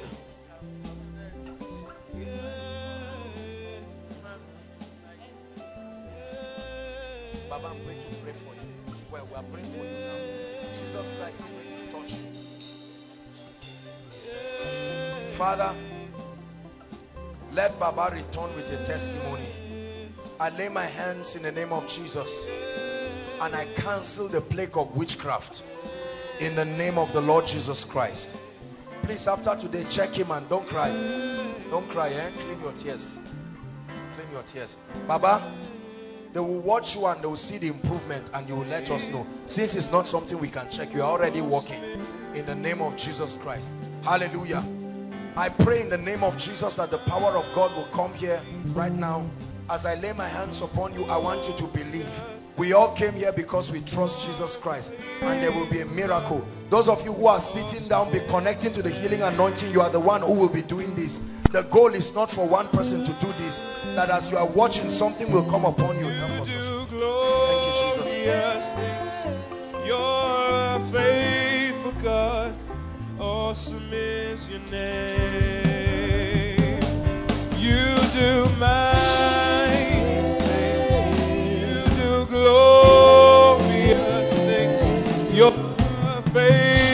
God. Awesome is your name. You do mighty things. You do glorious things. You're faithful God. Awesome is your name. You do mighty things. You do glorious things. You're a faithful God. Awesome is your name. Hallelujah. Hallelujah. Look at a very serious situation. Can you flash this, this baby? Look at, can you believe, listen, can you believe for God's sake that this baby, as beautiful as this child is, the brain is not developing? Look at this. Who told you the brain is not developing? The doctor, and we've done CT scan. You've done CT scan. You have your evidence. They said the brain is not developing. Remember, remember our teaching. A body without a spirit. There must be a spirit that is stopping this brain. How can a baby like this? This is an apostle. This is a prophet. This is a great man. Or what, male or female? Male. Male. Man of God in the making. And a spirit come. How would you like to have a child? That do you know what it means for the brain not to develop? That child becomes like an imbecile forever. In the name that is above all names, we lay hands upon this child. We are not only praying that God will heal him, but God will use him. My God, I pray right now, let the brain begin to develop. We cause the spirit that is responsible for this wickedness. Right now, in the name of Jesus.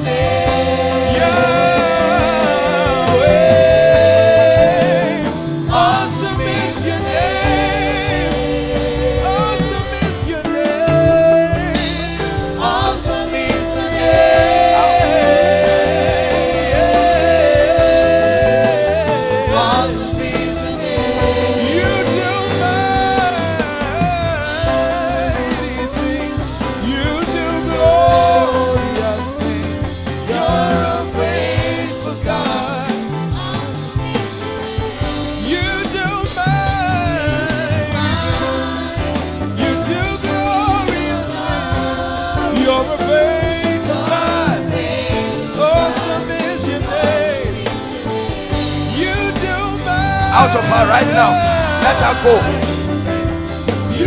Out. Out of her. Out. Out. Release her right now.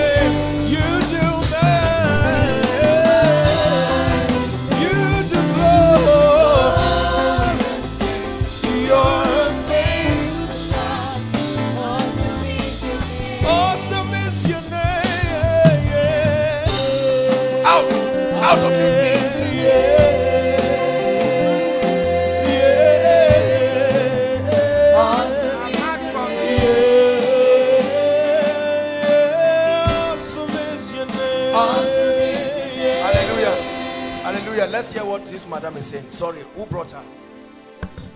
I say I, I go village now I'm mad from village.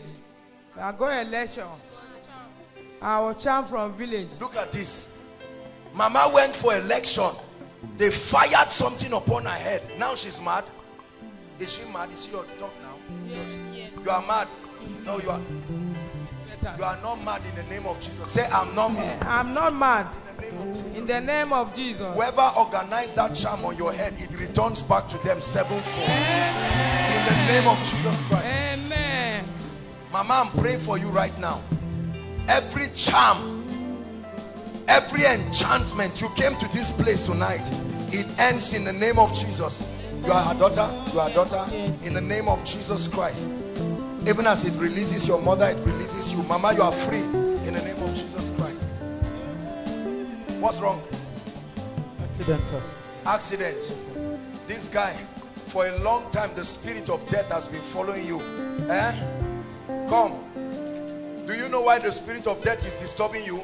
I'm looking at you. Don't feel embarrassed. Eh? I'm looking at you but i'm seeing you smoking something. Eh? Tell me the truth. Don't tell lies this is what death would have killed you. You are smoking uh, uh, what do they call this thing eh? Indian hemp igbo. Is that not true? You are smoking. The devil wants to kill you. This is look at look at this. Look at this. Can you see this? Look at this. Because this is not the first time. Every time i see this guy i see a whirlwind on his head. You you know that the devil is after your life. You are now adding a go to it. Jesus came that you be saved. Are you getting me? You are ready to give your life to Jesus Christ genuinely. Eh? Oh, oh, you are, or you are still with those your friends.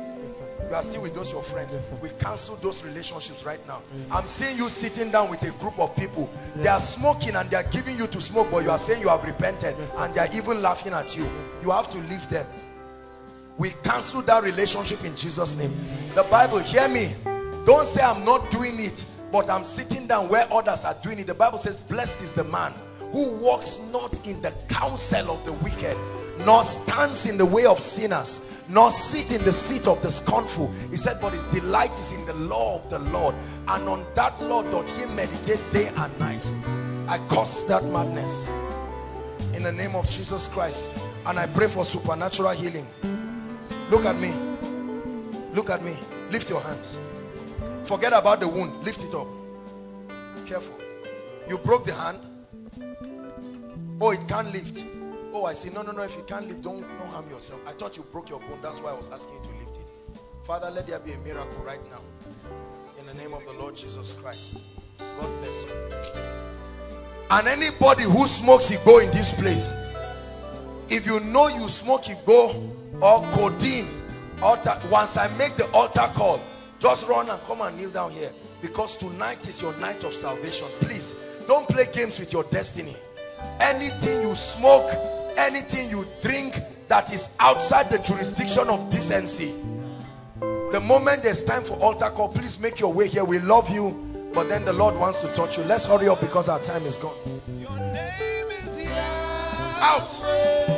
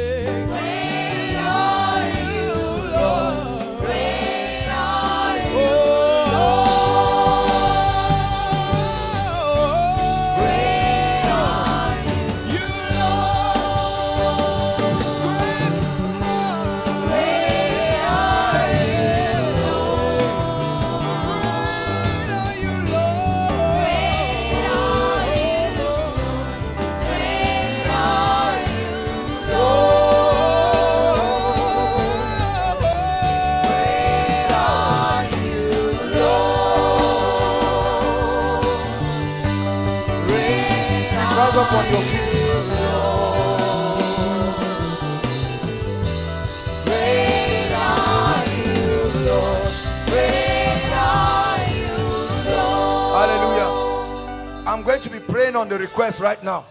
At the same time, an altar call is, co- is an altar call will be going. Those who need Jesus Christ, you are here right now, inside and outside. There are some of our brothers who are smokers and ladies, the ones that I spoke to. Now is the time. You can come before the presence of God. Don't feel bad. We're a family. And any other person. There are those who are saying, Lord, I'm tired of the way my life is. I need a new beginning. As we pray, please come and wait here. Join this lady very quickly. Celebrate them as they come, inside and outside. Please, let's save time. Celebrate them as they come, inside and outside. God bless you. A new beginning. God is giving you a new beginning. Don't be ashamed. Don't be embarrassed. You are saying, Lord Jesus, I make up my mind to walk with you. God bless you. God bless you. Koinonia, are you celebrating them? God is saving sinners. Keep coming from outside. Please clear the way for them if they are coming. Salvation is a very serious issue. Clear the way for them so that they'll come. Don't let any devil stop you. You are welcome. I know we're out of time, but please make your way to the front right now. Make your way to the front. We love you. No man condemns you. He can give you a new beginning. Hallelujah. Hallelujah. I salute every one of you here. I don't care what you have done or what you have not done. I want you to know that His Majesty can give you a new beginning. Hallelujah. Lift your right hand and say after me, say, Lord Jesus, I believe in you. I believe you died and rose again. I'm tired of the way my life is. I surrender everything to you. Seriously and completely. From this night, take over my life. Be my Lord and Savior. Let your life come upon me. I break free from habits, from sins, and everything that destroys my life. From today, I'm a child of God. I am saved. In the name of Jesus, let me pray for you. Lord, I thank you for these ones. Unashamedly, they have come before you. Preserve them by your power. In the name of the Lord Jesus. I pray that you will use them mightily. In the name of Jesus, I break the power of sin over your life. You will never return, especially for those of you who are victims of addictions and smoking. You will never return to it again in the name of Jesus Christ. That power is broken from off your life in the name of Jesus Christ. Now, I want you to follow a gentleman. They will have your details. And then on Tuesday, unfailingly, please be around. Um, meet with the prayer department and um, will fire you up. You'll be with them for at least a month. They will guide you. The gentleman is waving his hand. Salute them, everybody. Congratulate them. Stretch your hands towards a prayer request in one minute. Please, everybody, rise. We're rounding up. Stretch your hands towards a prayer request. Your request is here. Begin to speak. Prophesy. Prophesy over it in the name of Jesus Christ. Prophesy over it. Prophesy over it. Lord, unto you that answers prayer shall all flesh come. Are you praying?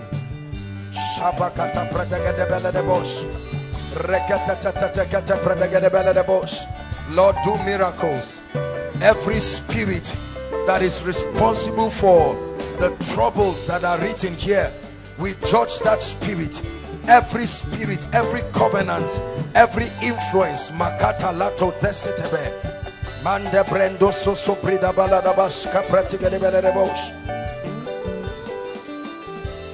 Brato so pratika de bele de bosh. Every spirit responsible for barrenness here, responsible for any setback. In the name of Jesus, we challenge it. By the blood of Jesus, we challenge it. By the blood of Jesus, we challenge it. By the blood of Jesus, we challenge it. Lord, let your people have testimonies. In the name of the Lord Jesus Christ. In the name of the Lord Jesus Christ. We declare that every request, every request that is presented here is turned into a testimony. In the name of Jesus Christ. and you will stand to testify before the people of God. In the name of Jesus Christ, I pray. Now lift your hands and receive the prophecy. I decree and I declare over you every confusion in your life, every cry for direction, right now in the name of Jesus, may you receive direction for the next level of your life. Receive direction for the next level of your life. Receive direction for the next level of your life. Every area of confusion, I arrest it right now. You will hear a voice from behind telling you this is the way. In the name of Jesus Christ. For those who are students, I pray for your academics. The exams that are about to come, your best result in your various institutions, this exam is what will produce it. In the name of the Lord Jesus Christ, may you record five points. In the name of the Lord Jesus Christ, I pray for every family represented here. Whatever has stagnated your family, by this anointing I declare, move forward. Move forward. Move forward. In the name of Jesus Christ. Everything that has covered your glory, so that the glory of the Lord upon your life will not be seen. In the name of Jesus, we tear that veil off. We tear that veil off by the power of the Holy Spirit. Whoever needs to help you before next miracle service, I call them forth into your life. Mysterious helpers. Mysterious helpers. In the name of Jesus Christ. I pray for you. Fresh grace for prayer. Fresh anointing for prayer. Every lack of passion for the things of God. I kill it right now in the name of Jesus.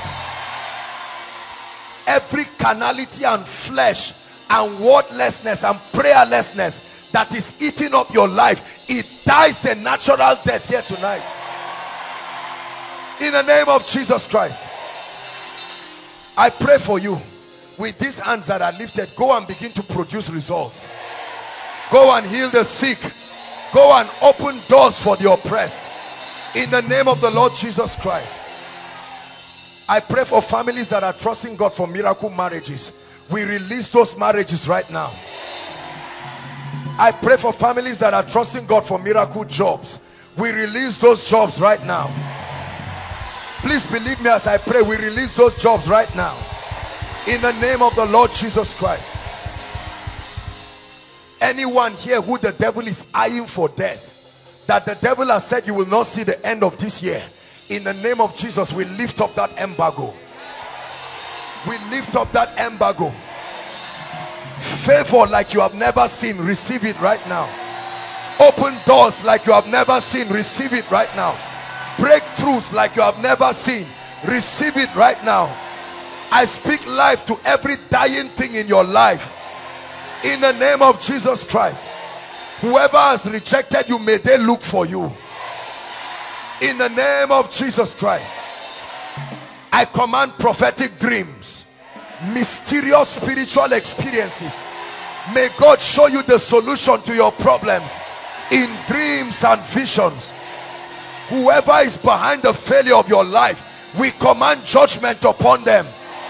In the name of the Lord Jesus Christ I prophesy unto you access to the mysteries of the kingdom access to deep revelation access to insight in the spirit.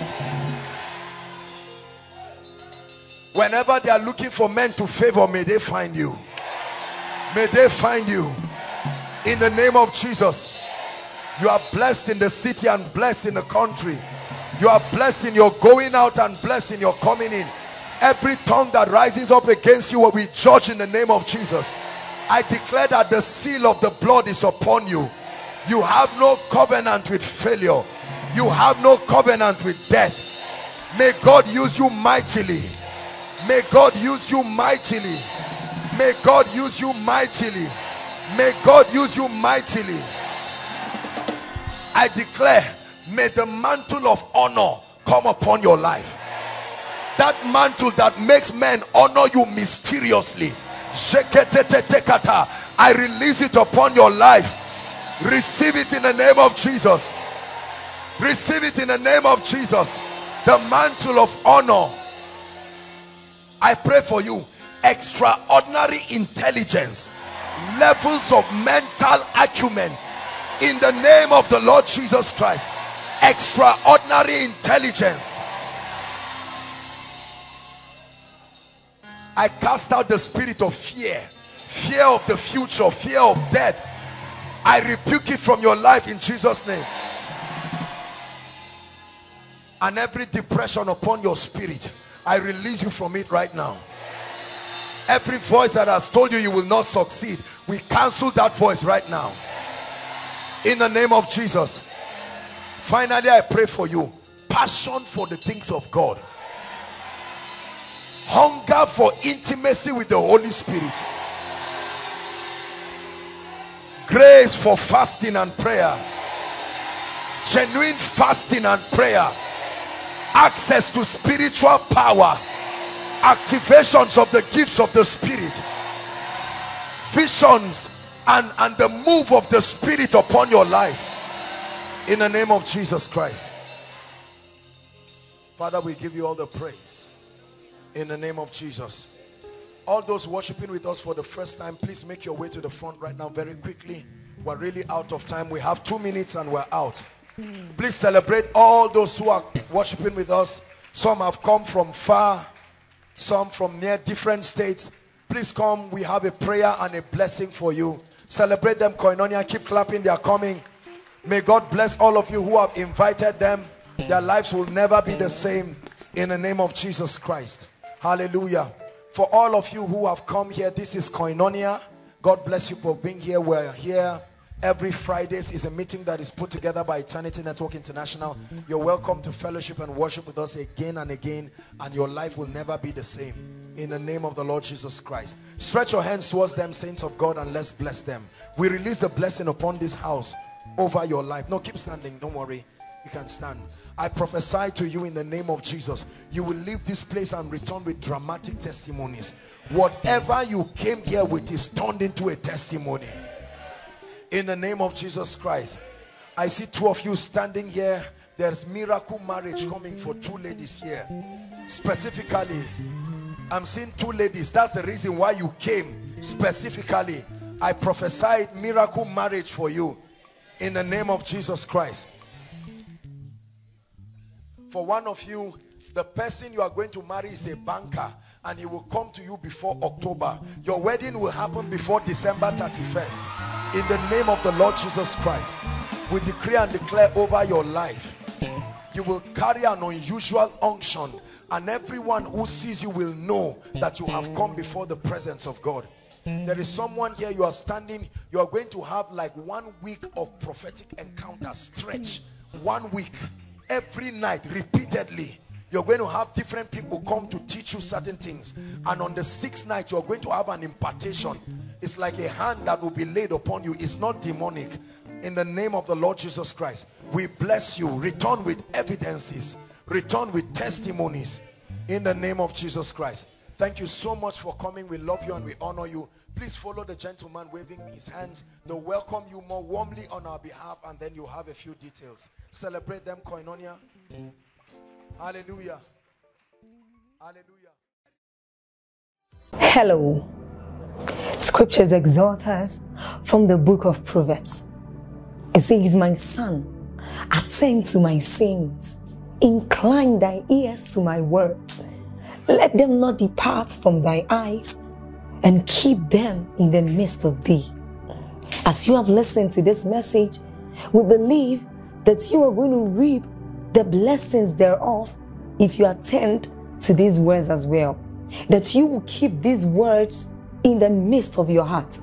That no matter the circumstance, your eyes are going to be fixed on these words. And as you have been blessed, we will tell you to share this message. Be an evangelist by sharing to others to be blessed. and then subscribe to this channel for us. Because we have loads of videos we have loads of content that is going to make you blessed that is going to set you on course that is going to set you ablaze. And don't forget to like for us. Thank you